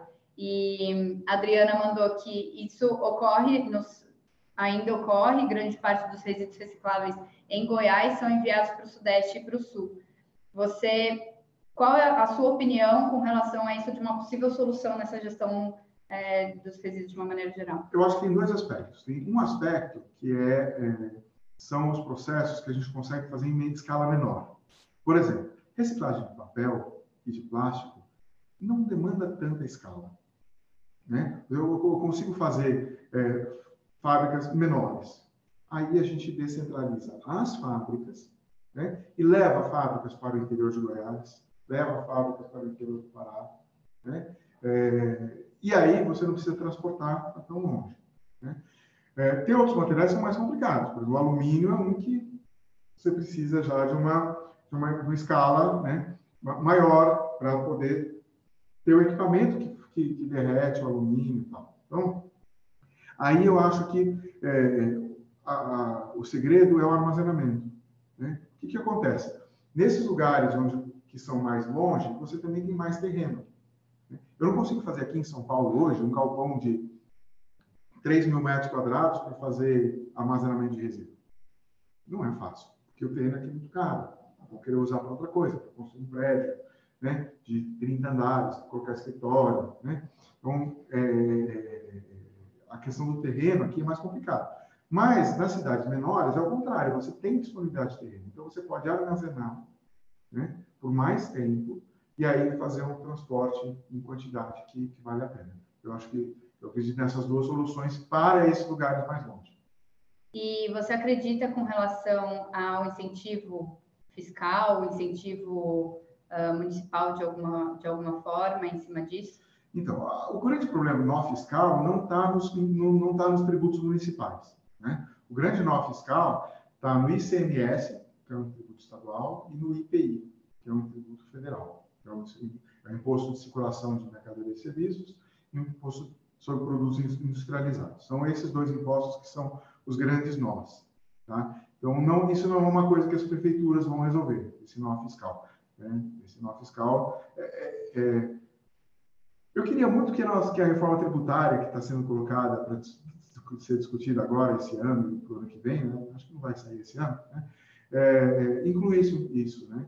essa possibilidade de de, de, de iniciativas sustentáveis, como ICMS verde, né, não é, pudessem contemplar a, a, reciclagem. Eu acho que seria uma coisa importante. Né? É, eu tenho uma pequena esperança, porque o pessoal da, da como os acordos setoriais né, das embalagens, dos medicamentos, agora do eletroeletrônico, estão né, indo cada vez mais para frente, né, estão se desenvolvendo, né? As indústrias começam a se envolver mais com isso também, então pode baixar os custos dela, né? É, se, a, se a lógica reversa e a coleta e a reciclagem tiverem incentivos fiscais. Né? Vamos ver, quem sabe, quem sabe a gente não consegue colocar esse assunto em discussão agora. É, a Maria mandou que é necessário políticas municipais que auxiliem nesse, nesse, nesse processo reverso. E não queria que você comentasse um pouquinho sobre isso, inclusive já puxando esse gancho que você falou sobre a questão dos eletroeletrônicos, né, que saiu hoje uma, uma reportagem sobre a logística reversa, uma reportagem, o Ministério do Meio Ambiente, né, assinou um acordo setorial sobre a logística reversa dos eletroeletrônicos. Isso. Então, é, eu não, não entrei no detalhe dos acordos setoriais, né? É, os acordos setoriais são uma ferramenta né, da Política Nacional de Resíduos Sólidos, porque ela fala o seguinte: a responsabilidade pelos resíduos né, na logística reversa é compartilhada. Mas a lei não diz como se divide essa responsabilidade pelos vários atores. Né? Então, o fabricante, o comerciante, os próprios consumidores, a prefeitura. Né? Então, é, o acordo setorial, na verdade, ele serve para fazer esse detalhamento. Né? E hoje saiu, foi assinado, então, o acordo setorial é, nacional dos produtos eletroeletrônicos. Né? É, eu acho bacana, porque assim, foi um acordo costurado durante muitos anos. Né? Ele, no fim das contas, alguns produtos ficaram de fora, né? por exemplo, é, geladeiras, fogões, micro-ondas tal, mas isso tem um motivo, é que a logística reversa desses aparelhos é muito diferente da logística reversa de é, computadores, celulares, é, é consoles de videogame, e mesmo algumas eletrodomésticos foram incluídos, né, como torradeira, sanduicheira, isso está incluído. O que não está são os grandes. Né? Máquinas de lavar roupa, máquinas de lavar louça, geladeira, isso está fora desse acordo porque a logística é totalmente outra, né? Então não dá para fazer um acordo que inclua as duas coisas. Né? É, vamos ver, eu acho que é um primeiro passo, né? Então é, acho que é bacana. Acho que o pessoal da Green Electron, que, que é uma das operadoras que está que vai operar essa logística reversa, já estão trabalhando, né? É, eu já tenho visto os containers deles por aí, acho que vai, vai dar certo. Muito bom. Passinho em passinho, né? Passinho, vamos, vamos conquistando passinho, aí de passinho em passinho.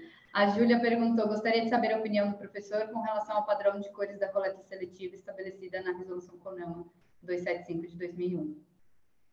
Bom, é, eu, não, eu não, queria entender um pouco a opinião em relação ao quê, né? Porque, assim, é, é um padrão. Assim, não sei de onde veio esse padrão, entendeu?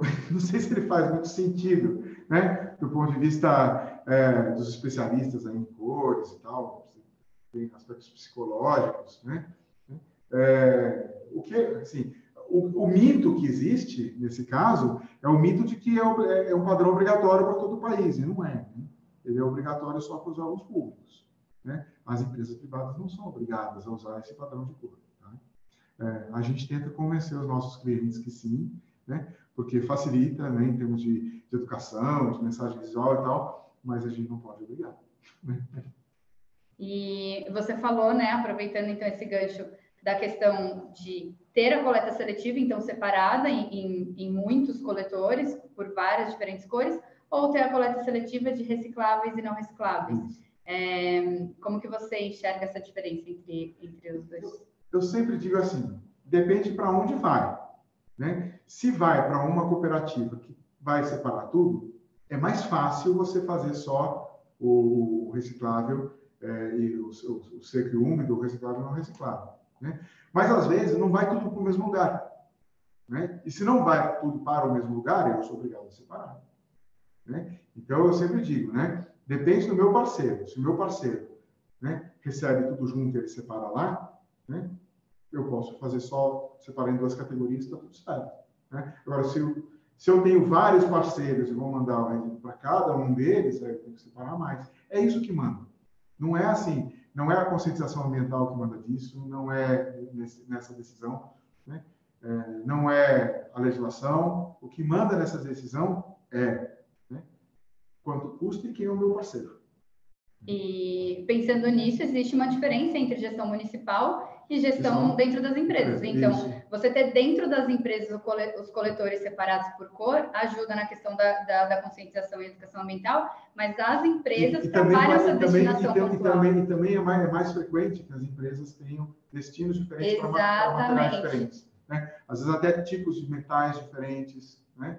É, a questão dos resíduos perigosos que vão para a incineração ou que vão para reciclagem, tal, então você tem mais separação. A gestão né? dentro, é. interna da empresa, né? Na medida em que a gente trabalha com cooperativas, né, a, a tendência é ficar só no seco e úmido, né? Só no reciclável e não reciclável, né? Primeiro que facilita a logística da prefeitura, né? Imagina a prefeitura ter que passar um caminhão com quatro compartimentos diferentes. Um compartimento para plástico, um para uh, vidro, um para metal, um para papel. Né?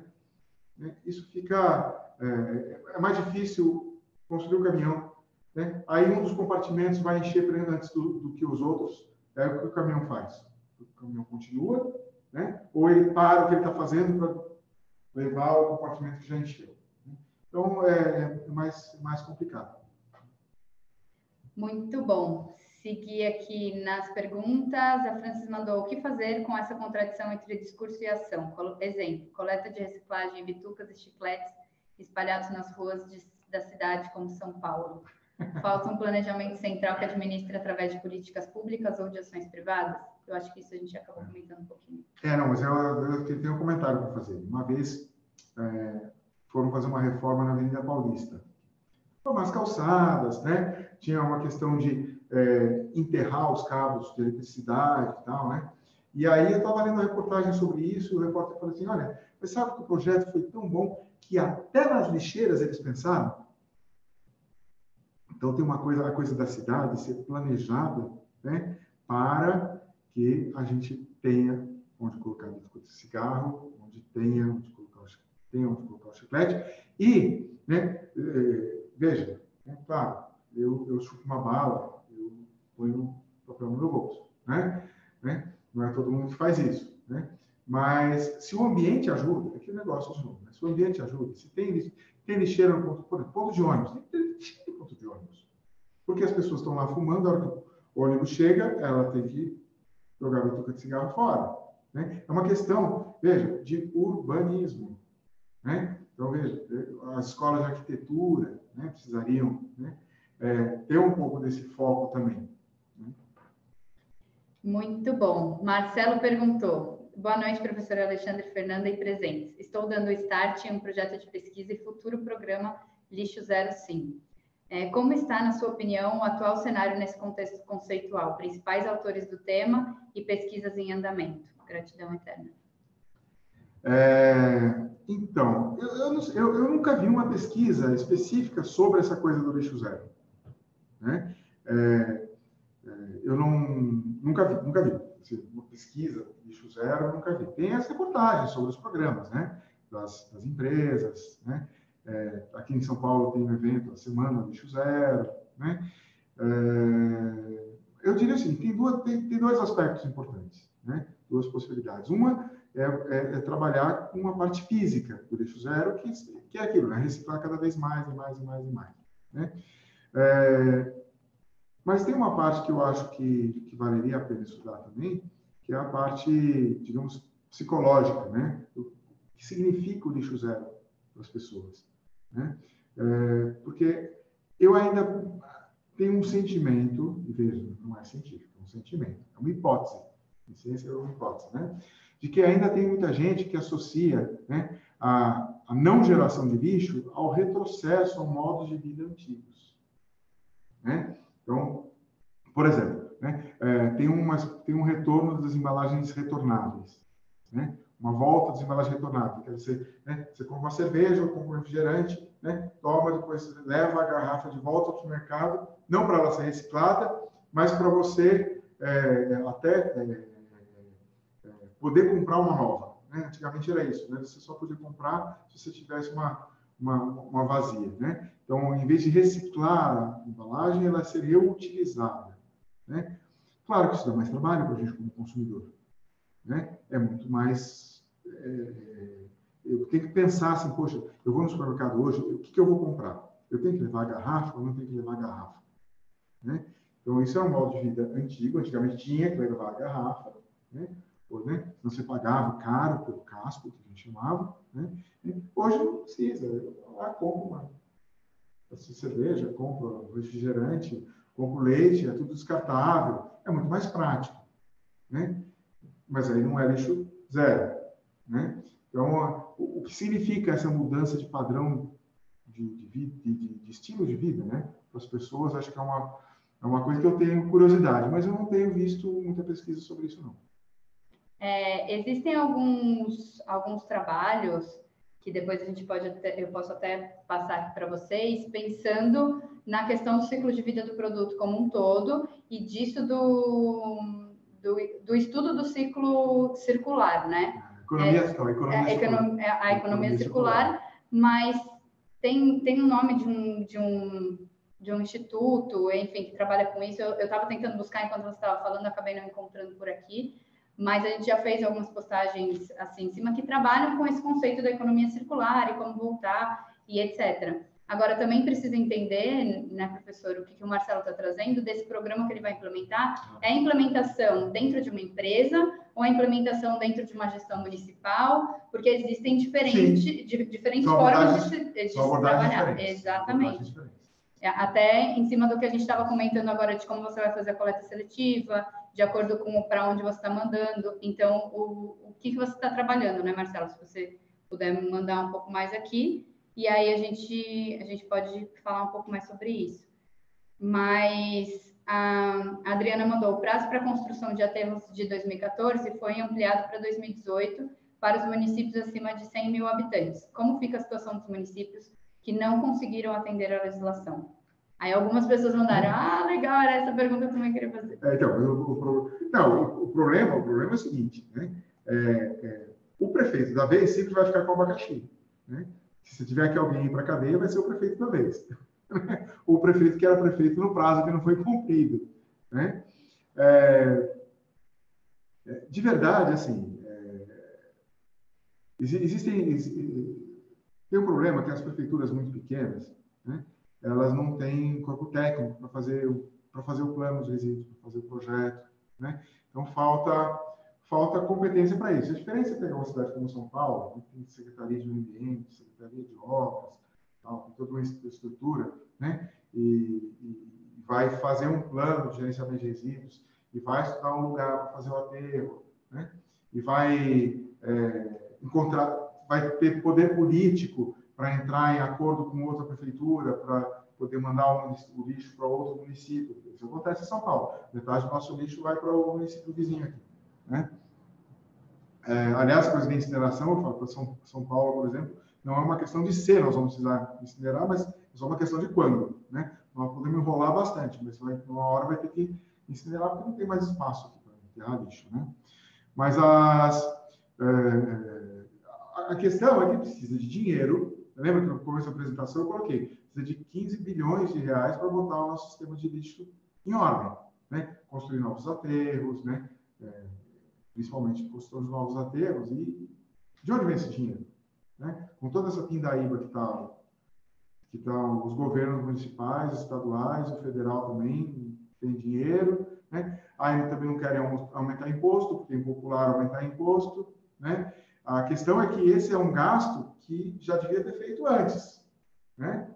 Então, nós estamos, nós estamos no cheque especial, né? E se esse gasto não era contado nas contas da prefeitura, agora tem que contar. Se tem que contar, nós temos que pagar. Eu, eu por exemplo, eu sou a favor de que se aumente os impostos, sim, para cuidar de, de, lixo nas cidades que não, que não fizeram nada até agora. Quem não conseguiu até agora vai ter que aumentar imposto para ter o dinheiro para fazer o que tem que fazer. Essa é a minha opinião. Coisas bem legais que você falou aí né, nessa sua resposta. Uma delas é sobre a falta de profissionais para fazer os planos de, de gestão de resíduos municipais. Eu, a gente tem até um vídeo, algum, algum lugar a gente já comentou sobre isso. Conversei, estava conversando com a professora Ana Maria de Meira, que é, é professora da Exalc, da USP, e ela trabalha com esses projetos de planos municipais. E ela traz exatamente sobre isso da falta de profissionais qualificados para fazer os planos de, de gestão municipal. E porque faltam profissionais na área ambiental, gente? Não, porque falta o link desses profissionais com esses trabalhos. Então, aí, ó, uma oportunidade de. É, falamos de várias coisas que trazem oportunidades aí no, no mercado, né? Olha, outro dia. É uma... E é a mesma coisa do dinheiro. Outro dia saiu um edital do fundo do Fundo de Recursos Hídricos, aqui da, do Alto Tietê, né? É, chamando projetos, é, ter, ter, o dinheiro do fundo, né? E aí o comitê de bacia fala, onde vamos gastar esse dinheiro? Então eles chamaram um edital e disseram assim, ó, quem tem projetos para a bacia hidrográfica aqui do Alto Tietê?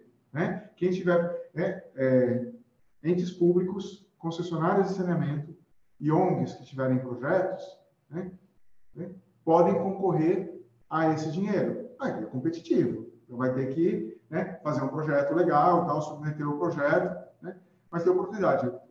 Trabalhar com resíduos era uma das coisas, com educação ambiental relacionada a resíduos, eram temas que eles aceitavam financiar. Né? E são oportunidades que muitas vezes as pessoas não, não, não colocam e não conhecem e não ficam com isso de olho no radar com relação a trabalhar para os órgãos públicos. Então, fica de olho nas licitações para trabalhar é, com isso. Ou, ou para ONGs, né? Por exemplo, às vezes você tem é, associação de bairro.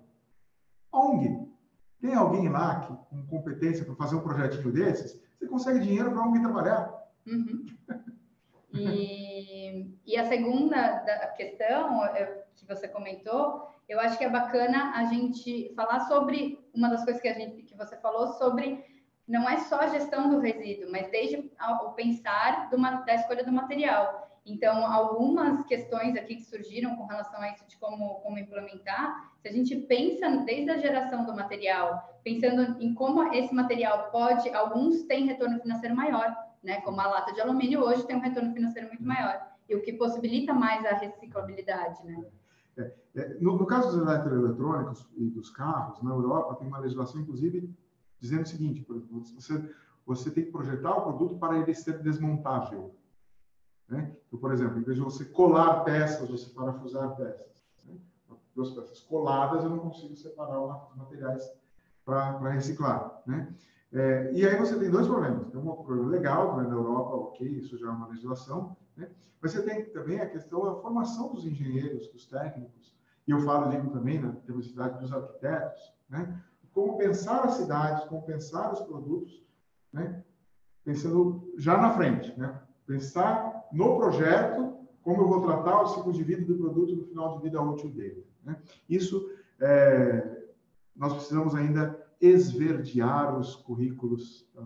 das nossas faculdades para que isso é, é, aconteça mais rapidamente. E isso é muito está 100% vinculado também com as empresas pensarem desde a matéria-prima, os programas que a gente estava falando, os projetos de aterro zero que as empresas é, começam a buscar implementar, eles começam a buscar é, esse que eu comentei, né, que eu já trouxe aqui falando que, que eu participei sobre essa implementação desse projeto, fez com que a empresa repensasse várias questões desde a matéria-prima, da produção da matéria-prima, para escolher quais materiais a gente vai usar nesse processo produtivo. Se elas estão juntas, o que, que a gente vai fazer com essa peça para que aumente isso, e também da questão financeira, né, do material que a gente vai usar.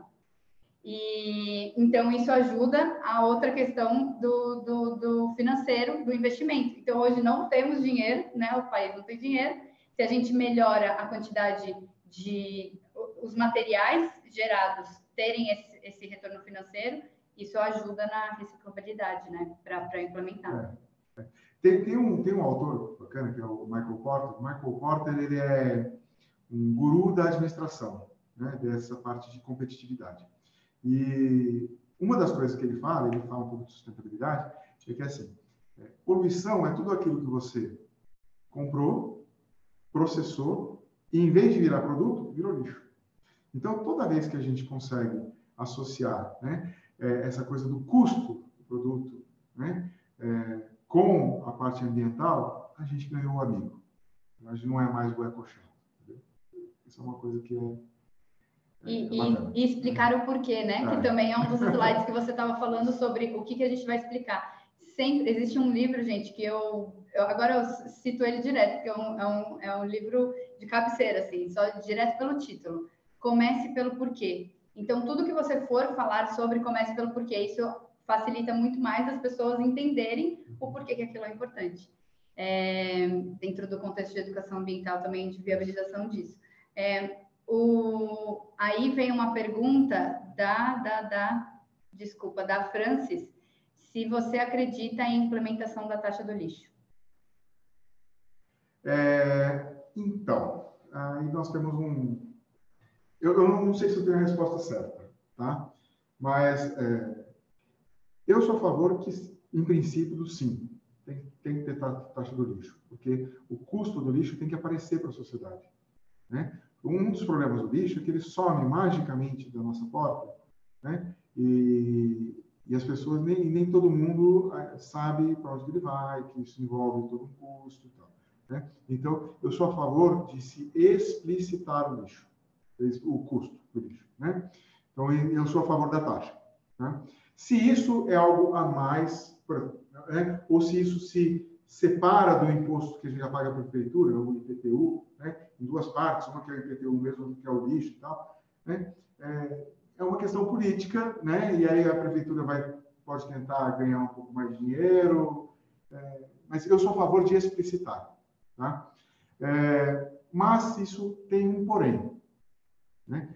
Quando a taxa do lixo é explícita, você, tem, você corre o risco de as pessoas fugirem dela dizendo que não tem lixo.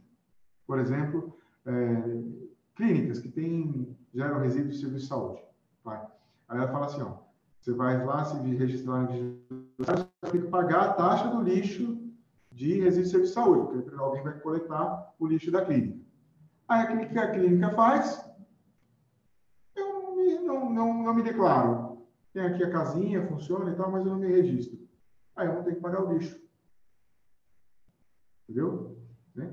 Então, assim, O explicitar tem a vantagem de mostrar, de ser educativo, mostrar para a sociedade que, é que isso é um custo, e fica mais fácil de a gente administrar o custo de verdade. Quando o custo fica escondido no IPTU, é mais difícil de administrar. Né? Mas, né, é, quando a gente cobra, tem gente que foge.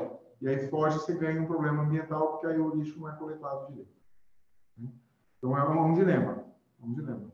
Né? Eu, né, eu, eu, eu, eu acho que para pequenas quantidades, né, é, talvez valha a pena não cobrar. Né? Talvez valha a pena não cobrar.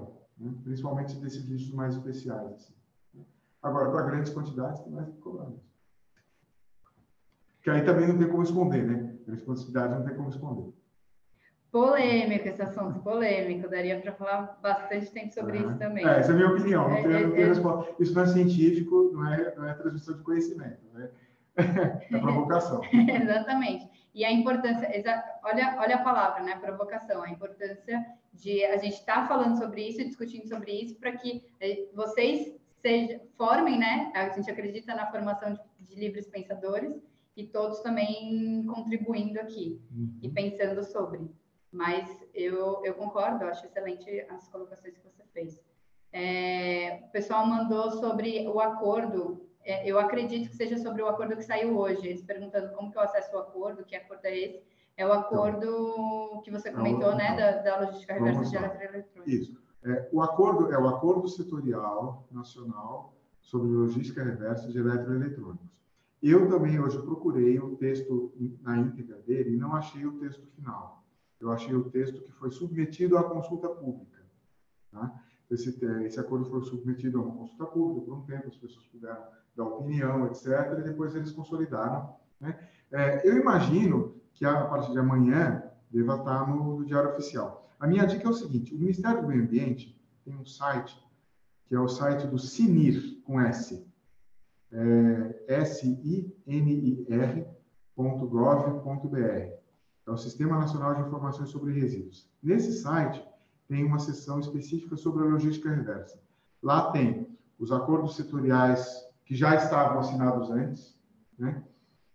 É, tipo pneus, tipo é, agrotóxicos, tipo é, óleos, né? já, já tinha os acordos, né? Então, estão lá os textos dos acordos. E tem lá também, o que é muito bacana, os relatórios periódicos das quantidades que que já foram coletadas, como é que está funcionando o sistema e tal.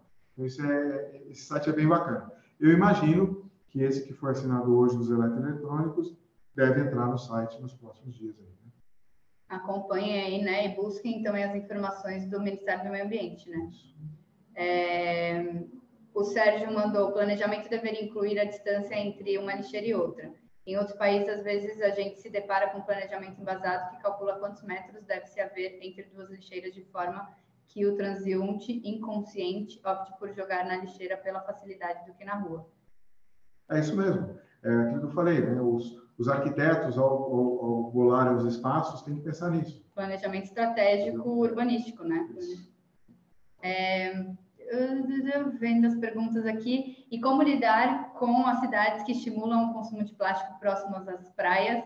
Como gerenciar esse tipo de resíduo que invade o ambiente aquático? É, esse negócio dos plásticos é, é, é, você falou bem, é, a coisa das praias, né? Porque tem aquela polêmica dos, dos saquinhos de supermercado, por exemplo, né?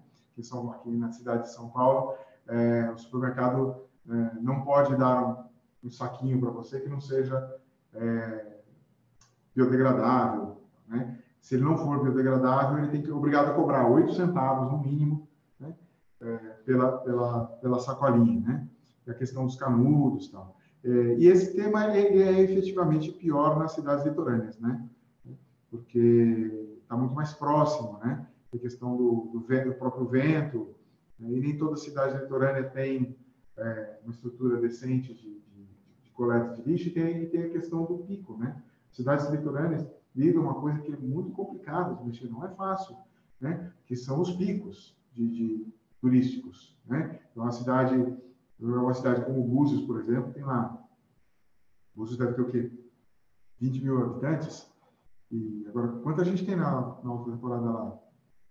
Mais de 100 mil pessoas morando na cidade na alta temporada, né? Então, isso é, é complicado. Né?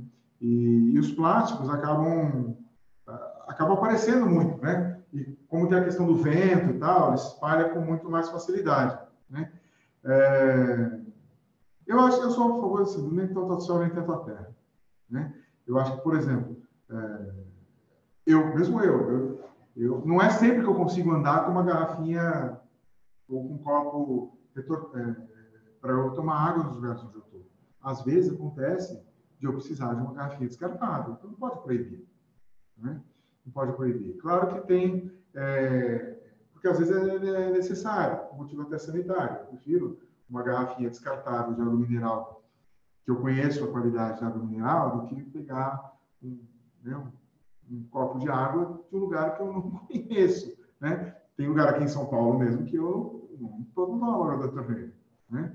Então, é, eu acho que é, temos que ter equilíbrio nas coisas, né? Temos que ter equilíbrio, né? E eu acho que o segredo, nesse caso do, do plástico, na, nos ambientes, né? Que são mais sujeitos ao espalhamento, como as praias e tal, está é, tá na coleta, no, no acondicionamento, na verdade. Então, as lixeiras têm que ser apropriadas para não permitir né, que o lixo se espalhe com o vento.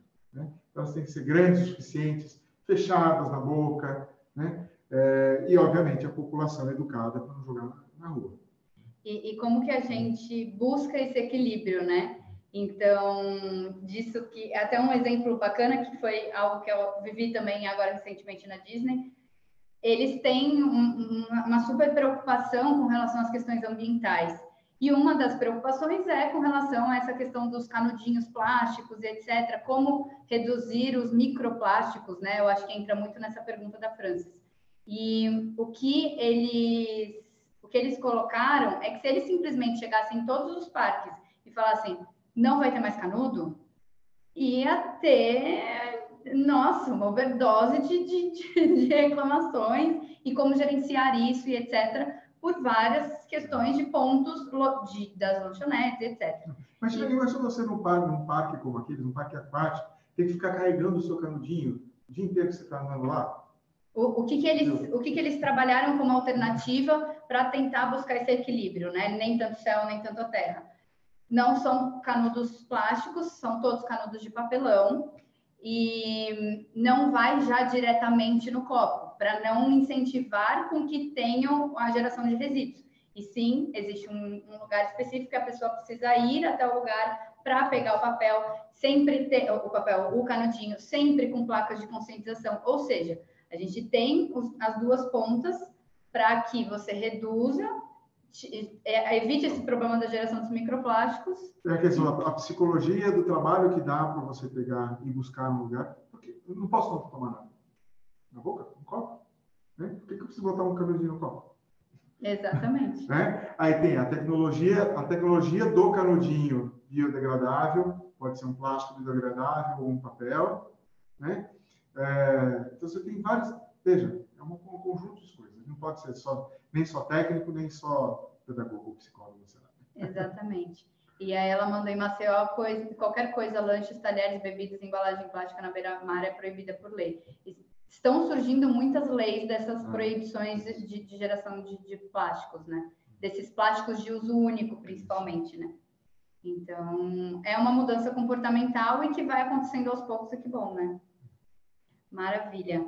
E o, o Marcelo, o, o, Marcelo comentou uh, sobre isso, sobre essa gestão é, do, da questão do, da implementação do conceito lixo zero que ele estava trazendo. E ele falou que é um, um, projeto residencial, um estudo de residências de um, um indivíduo, dois, quatro e acima de seis. Qual o cenário atual e acompanhar mensalmente, trimestral e semestralmente com a implementação do conceito lixo zero. Muito se fala no, no ambiente empresarial pelo poder econômico mas um estudo na implementação residencial com algum tipo de incentivo. Quais os resultados locais e globais para uma futura implementação de política de gestão pública? E abraços e agradeço muito pela.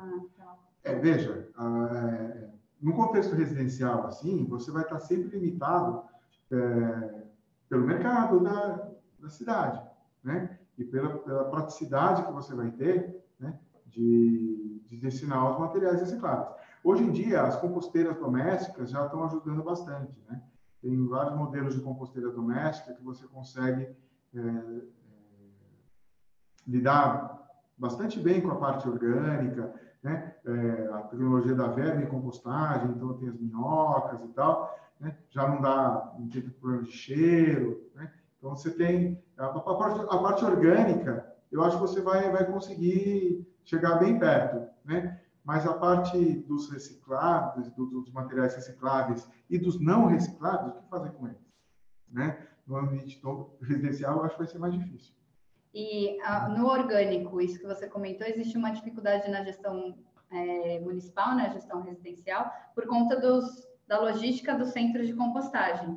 Você acredita nesses centros de compostagem é, únicos, municipais, ou em compostagens descentralizadas?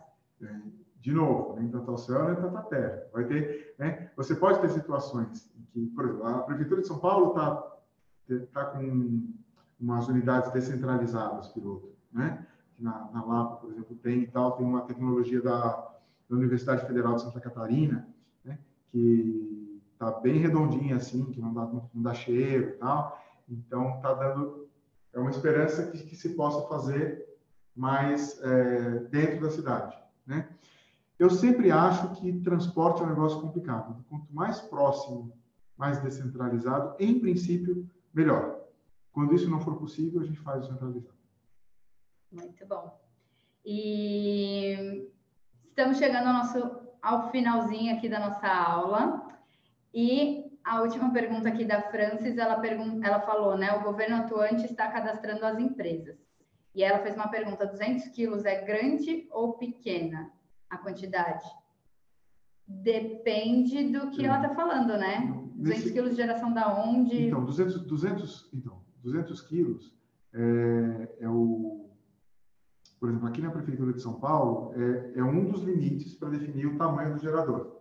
É, acima de 200 é grande. Né? É, mas isso não tem nada de científico. A Prefeitura de São Paulo, para efeito né, de tributação e de fiscalização, né, definiu esse tamanho. Eu não sei qual foi o parâmetro, o critério parâmetro usou, né? Às vezes tem os, os números são números meio mágicos, né? Por exemplo, é, tem prefeitura que você pode colocar até 50 litros por dia de entulho de construção misturado no lixo comum. Por que 50 litros? Por que não só 10? E por que não deixa 100, no fim das contas? Né? Então, é, não tem... É, esses números às vezes surgem meio mágicos, assim, eu não sei, não sei dizer. E o Gilberto, o Gilberto, ele, ele é especialista também nessa área de resíduos, muito bom ter você aqui, Gilberto, também aluno aí, rostinhos conhecidos, e ele só fez um comentário, na verdade, da importância do, do empreendedorismo dentro dessa, dessa questão da engenharia reversa e do ampliamento do comércio de resíduos. É. Se... Isso. Isso. Eu tenho, eu, tenho, eu, tenho, eu tenho um projeto que eu tenho pesquisa que eu tenho vontade de fazer, que é usar a, a gente chama de teoria de redes, né, para entender o, o, fluxo de, de, de, resíduos aqui em São Paulo. Está tá, na minha cabeça, assim, achar um espaço para fazer isso. Faça isso, professor, vai ser maravilhoso. Por favor, mandem aqui, gente, faça, faça, faça, para incentivar. E qual foi o critério para a Prefeitura de São Paulo estabelecer isso? Bom, na verdade, não sei, não sei. a gente falou, é, precisaria, precisaria ir atrás um pouco mais a fundo é. para entender. É, precisaria conversar com o pessoal da, da, da prefeitura, da, prefeitura para né? estabelecer. Mas muito provavelmente é dentro do plano de gestão que eles estavam desenvolvendo, é, a, a quantidade porque, porque, de geração. Por que 150 e não 200? Ou porque né, 200 e não 500? Já mandaram aqui, passa prof, ideia genial, por favor. Maravilha. Gente, estamos chegando ao final da nossa aula ao vivo.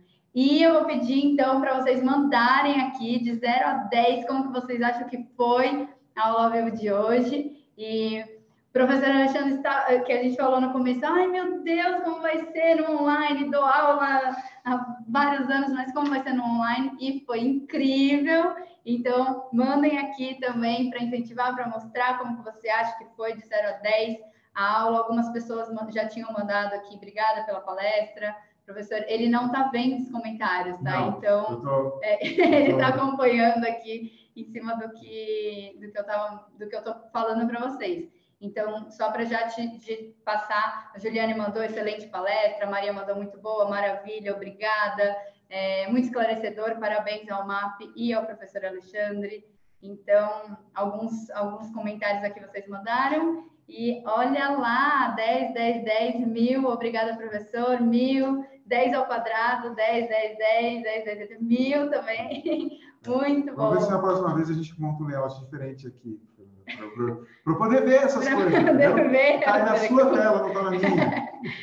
Show, obrigada, adorei, adorei, parabéns, obrigada, Fê. Muito bom, muito bom. Feliz aí com o retorno de vocês, é sempre muito importante. E, inclusive, aproveitando, então, falando sobre retorno, é, é a gente está sempre buscando melhorar, saber o que trazer para vocês, como trazer para vocês.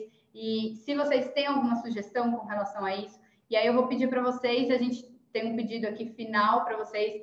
Tem um formuláriozinho que a gente, a gente montou aqui para vocês é, preencherem um pouquinho de, de como vocês acham que foi.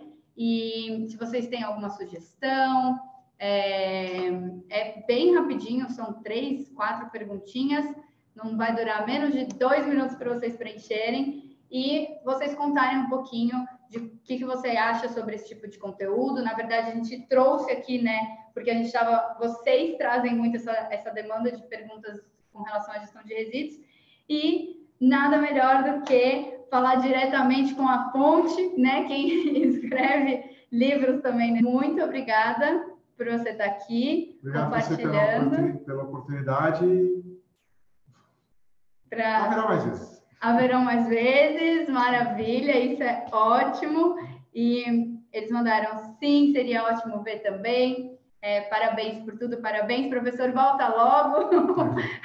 ótimo, muito bom, muito bom saber aí de vocês esse retorno. E também aproveitando, a, aproveitando aqui os ganchos, né? Aproveitando que eu falei dos livros, então eu vou mandar aqui para vocês também no, no chat os, os links dos livros para quem se interessar pelos livros que a gente apresentou aqui, os links dos livros que o professor foi coautor já estavam na nossa na publicação que a gente fez, né, divulgando aqui a aula, mas pode ser que não tem, vocês não tenham recebido.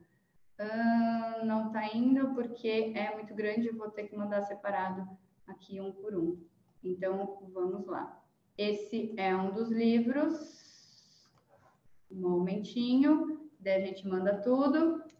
E um, um ponto interessante também é que o professor comentou sobre o final, o cumprimento dos ODS, né? É, a, a, implementação disso com relação aos ODS. E teremos em breve um seminário, né, com relação aos ODS.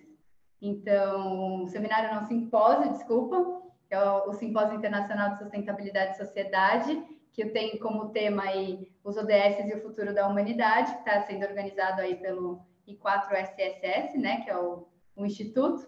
É, temos Institute for Services, Sustainability and Society. É, e vou mandar também então o link do, do simpósio aqui para vocês. Estaremos os dois lá, né, com, com palestras no simpósio. Então, para quem participar, você vai falar sobre o que lá, professor? Sobre, uma... sobre, sobre sustentabilidade e modo de vida. Né? Coisas, coisas como é, economia compartilhada, agricultura orgânica. Muito bom. Eu estarei lá falando sobre a importância também das redes sociais, das mídias sociais na implementação aí de, de projetos socioambientais e da implementação dos ODS, dentro aí desse contexto dos ODS. Então, ODS, como ele trouxe aqui, são os Objetivos do Desenvolvimento Sustentável e vai ser um prazer aí ter vocês lá. Mas, então, já, já estouramos um pouquinho aqui do horário. Obrigada para todo mundo que está aqui com a gente agora, online, 10 e meia da noite. Parabéns pra, por vocês estarem aqui, né, trocando essas informações também. E obrigada por todas as interações que vocês mandaram aqui também. Obrigado a todo mundo também. As, as perguntas, as perguntas fazem, a gente sempre aprende um pouco também. Exatamente, essas trocas são sempre riquíssimas, né? Faz a gente pensar, isso é ótimo. Gente, obrigada aí por todas as mensagens, obrigada, obrigada, nota 10, muito bom, excelente, nota 10. Várias mensagens aqui, professor, obrigada por todos os rostinhos conhecidos, adoro ver os rostinhos conhecidos de vocês por aqui. E, então, o último pedido aí do formuláriozinho é, que a gente tem para vocês preencherem, contando um pouquinho mais para a gente saber o que a gente, como foi a aula, o que a gente pode melhorar e assuntos também que vocês têm interesse. Boa noite para todos vocês. Professor, mais uma vez, muito obrigada por você estar aqui. Prazer enorme. Beijo para todo mundo. Um beijo e até mais.